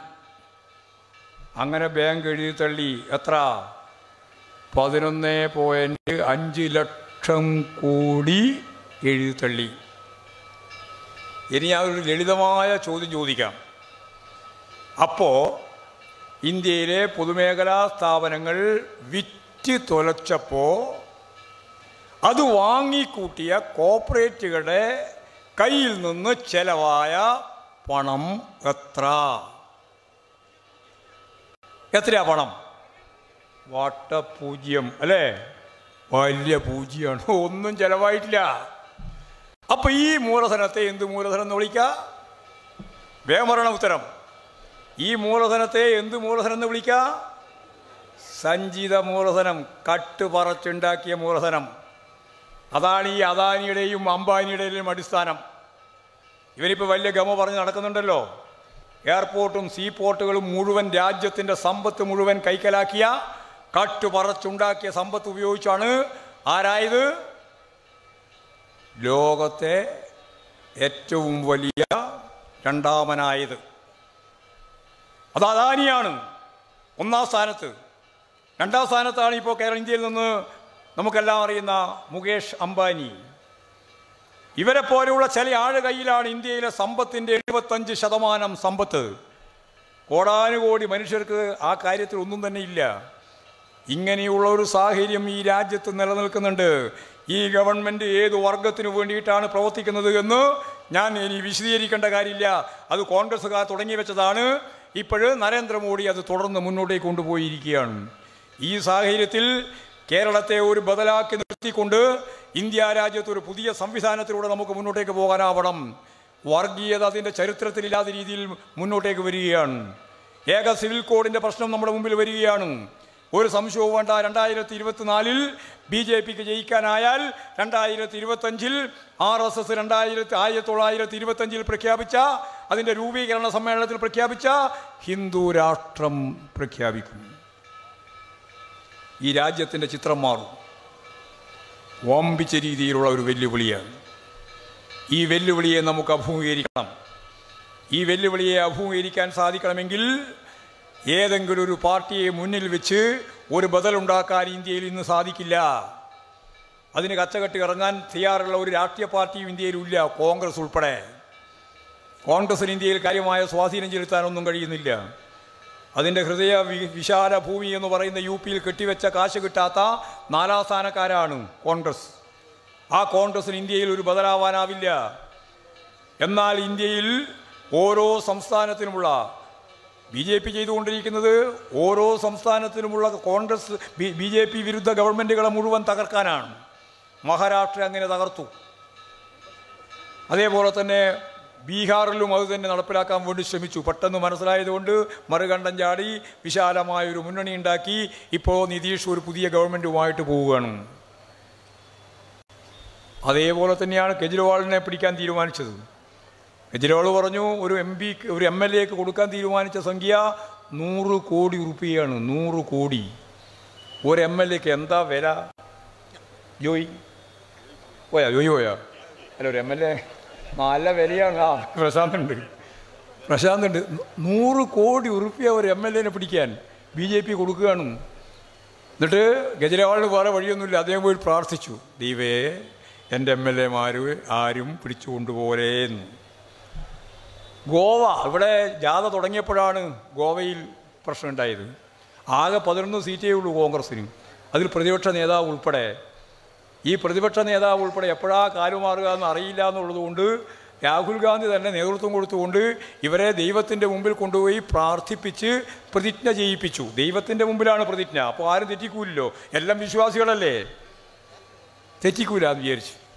ഇവിടെ ജാഥ തുടങ്ങിയപ്പോൾ അവർ എട്ടാൾ മാറി. ആകെ പതിനൊന്നാണ്. പതിനൊന്നിൽ എട്ടെണ്ണം പ്രതിപക്ഷ നേതാവ് ഉൾപ്പെടെ മാറി. മനോരമക്കാരൻ ഒരു ബോക്സല്ല. ഒരു മഞ്ഞ കുറിയിൽ ഒരു വാർത്ത പ്രസിദ്ധീകരിച്ചു.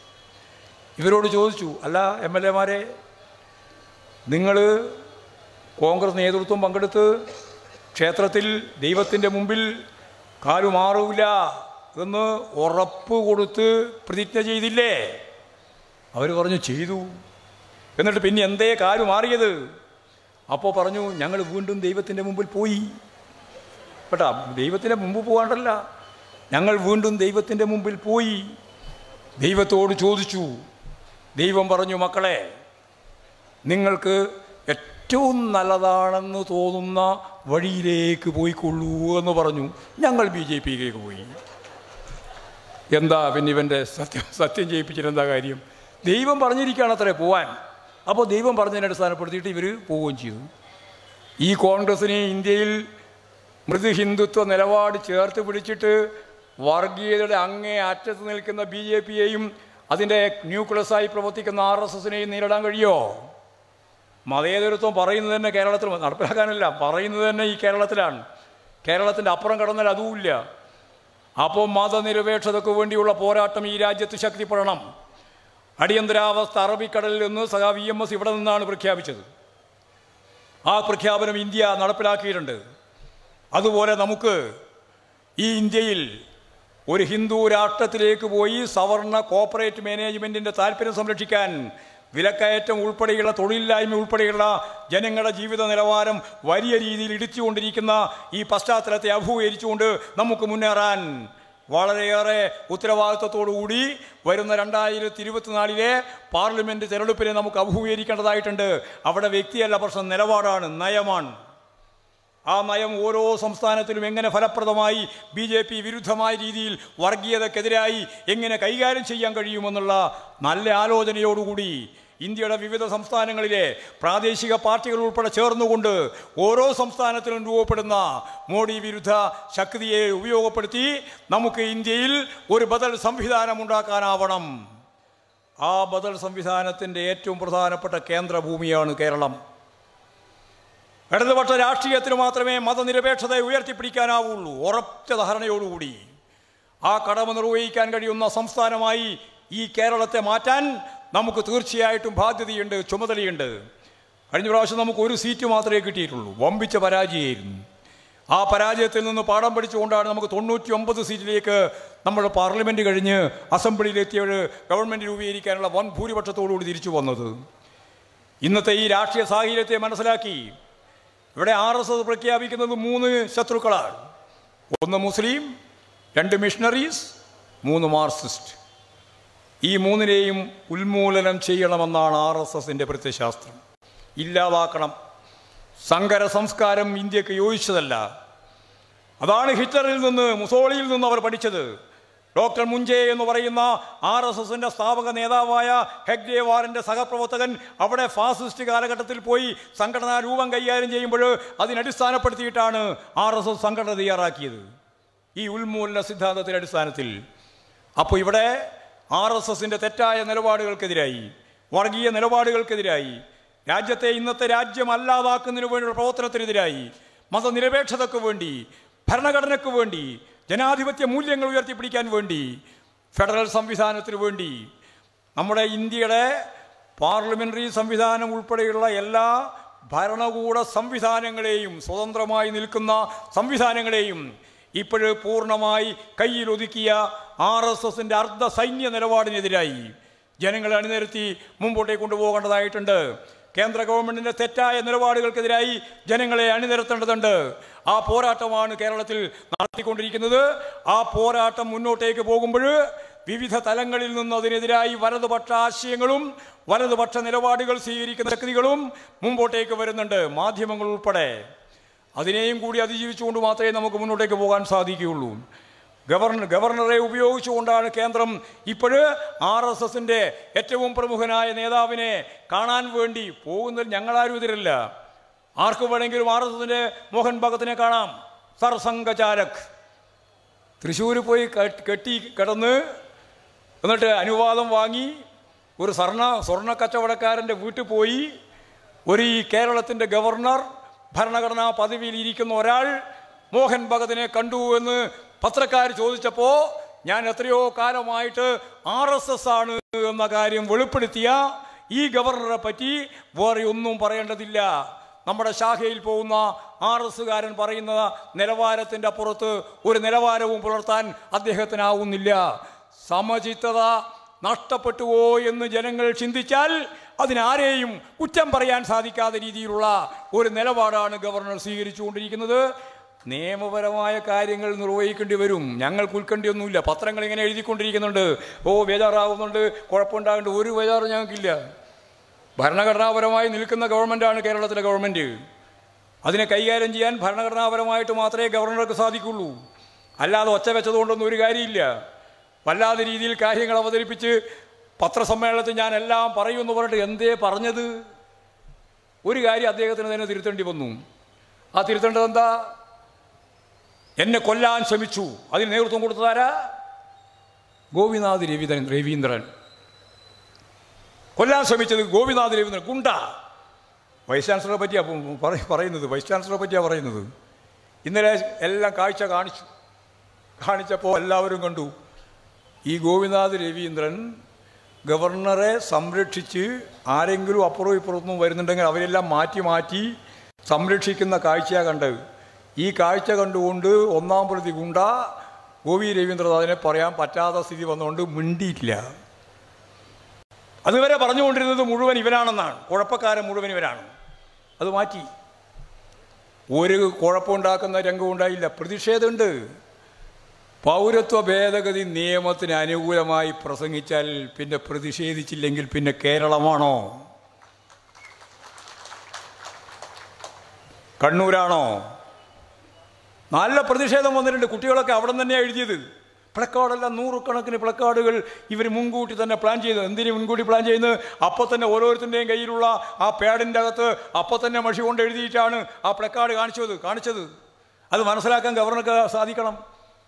അല്ലാതെ മുൻകൂട്ടി തീരുമാനിച്ചു വന്നിരിക്കുന്നു ഒന്നാണ് ഒരു തീരുമാനവുമില്ല അവിടെ പ്രസംഗിച്ചു പ്രസംഗിച്ചപ്പോൾ തന്നെ പ്രതികരിച്ചു. ആ പ്രതിഷേധം ഉണ്ടായിട്ടുണ്ട്. ആ പ്രതിഷേധം ഉണ്ടാവുകയും ചെയ്യും. അതില്ലെങ്കിൽ പിന്നെ കേരളാവോ? പ്രതിഷേ പ്രതിഷേധിക്കാൻ കഴിവുള്ള ശേഷിയുള്ള ഒരു നാടല്ലേ? അത് അവർ മാത്രമല്ല ചരിത്ര കോൺഗ്രസിൽ പങ്കെടുത്ത പ്രതിനിധികളാണ് ഇന്ത്യയുടെ വിവിധ മേഖലയിൽ നിന്ന് വന്നവരുൾപ്പെടെ. പിന്നെ പറയുന്നത് ഇതിന്റെ ഏറ്റവും പ്രധാനപ്പെട്ട ആളാരാ? കെ കെ രാകേഷാണ്. ഈ രാകേഷിനെ പറ്റി ഒന്നും അയാൾക്ക് മനസ്സിലായിട്ടില്ല. ഇയാൾ വിചാരിച്ച് പേഴ്സണൽ സ്റ്റാഫിൽ മുഖ്യമന്ത്രിയുടെ പേഴ്സണൽ സ്റ്റാഫിലാണെന്നാണ്. നിങ്ങളൊരു കാര്യം മനസ്സിലാക്കുക കെ കെ രാകേഷ് അന്ന് ഇദ്ദേഹത്തെ പോലെ തന്നെ ഔദ്യോഗികമായി ക്ഷണിക്കപ്പെട്ട ഒരു അതിഥിയാണ്. അന്ന് അദ്ദേഹം എം ആണ്. കണ്ണൂർക്കാരനായ ഒരു എം പിയെ ആ പരിപാടിയിൽ ക്ഷണിച്ചിട്ടുണ്ട്. ചരിത്ര കോൺഫറൻസിൽ ക്ഷണിച്ചിട്ടുണ്ട്. അങ്ങനെയാണ് രാകേഷ് അതിൽ പങ്കെടുക്കുന്നത്. ആ രാകേഷ് സംഘർഷാത്മകമായ ഒരു സാഹചര്യം വരാതിരിക്കാൻ സ്റ്റേജിൽ നിന്ന് ഇറങ്ങിപ്പോയി അവിടെ പ്രതിഷേധിച്ചുകൊണ്ടിരിക്കുന്ന കുട്ടികളെ ബഹളത്തിൽ നിന്ന് അവരെ ആ ബഹളം അവസാനിപ്പിക്കാൻ വേണ്ടി ഇടപെടുന്ന കാഴ്ചയാണ് ഗവർണർ കാണുന്നത്. എന്നിട്ടാണ് കെ കെ രാകേഷ് മുഖ്യമന്ത്രിയുടെ പ്രതിനിധി എന്ന് പറഞ്ഞിട്ട് അപമാനിക്കുന്നത്. അദ്ദേഹമാണ് ഇടപെട്ട് ശാന്തമാക്കിയത്. അദ്ദേഹത്തോട് നന്ദി പറയുന്നതിന് പകരം അദ്ദേഹമാണ് വലിയ കുഴപ്പക്കാരെന്ന് പറയുകയാണ്. കാര്യങ്ങൾ മനസ്സിലാക്കാതെ എന്തും വിളിച്ചു പറയുന്ന ഒരാളെപ്പറ്റി ഞാൻ വേറെ ഒന്നും വിശദീകരിക്കുന്നില്ല.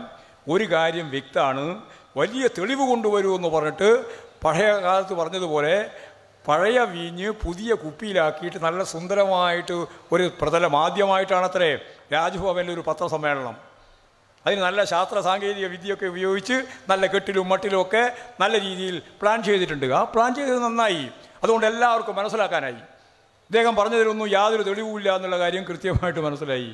പിന്നെ ഗവൺമെന്റിനെ പറ്റി മുഖ്യമന്ത്രിയെ പറ്റി പറഞ്ഞതിന് ഇന്നലെ തന്നെ സഖാവ് പിണറായി കേരളത്തിലെ മുഖ്യമന്ത്രി കൃത്യമായിട്ട് മറുപടി പറയുകയും ചെയ്തിട്ടുണ്ട്.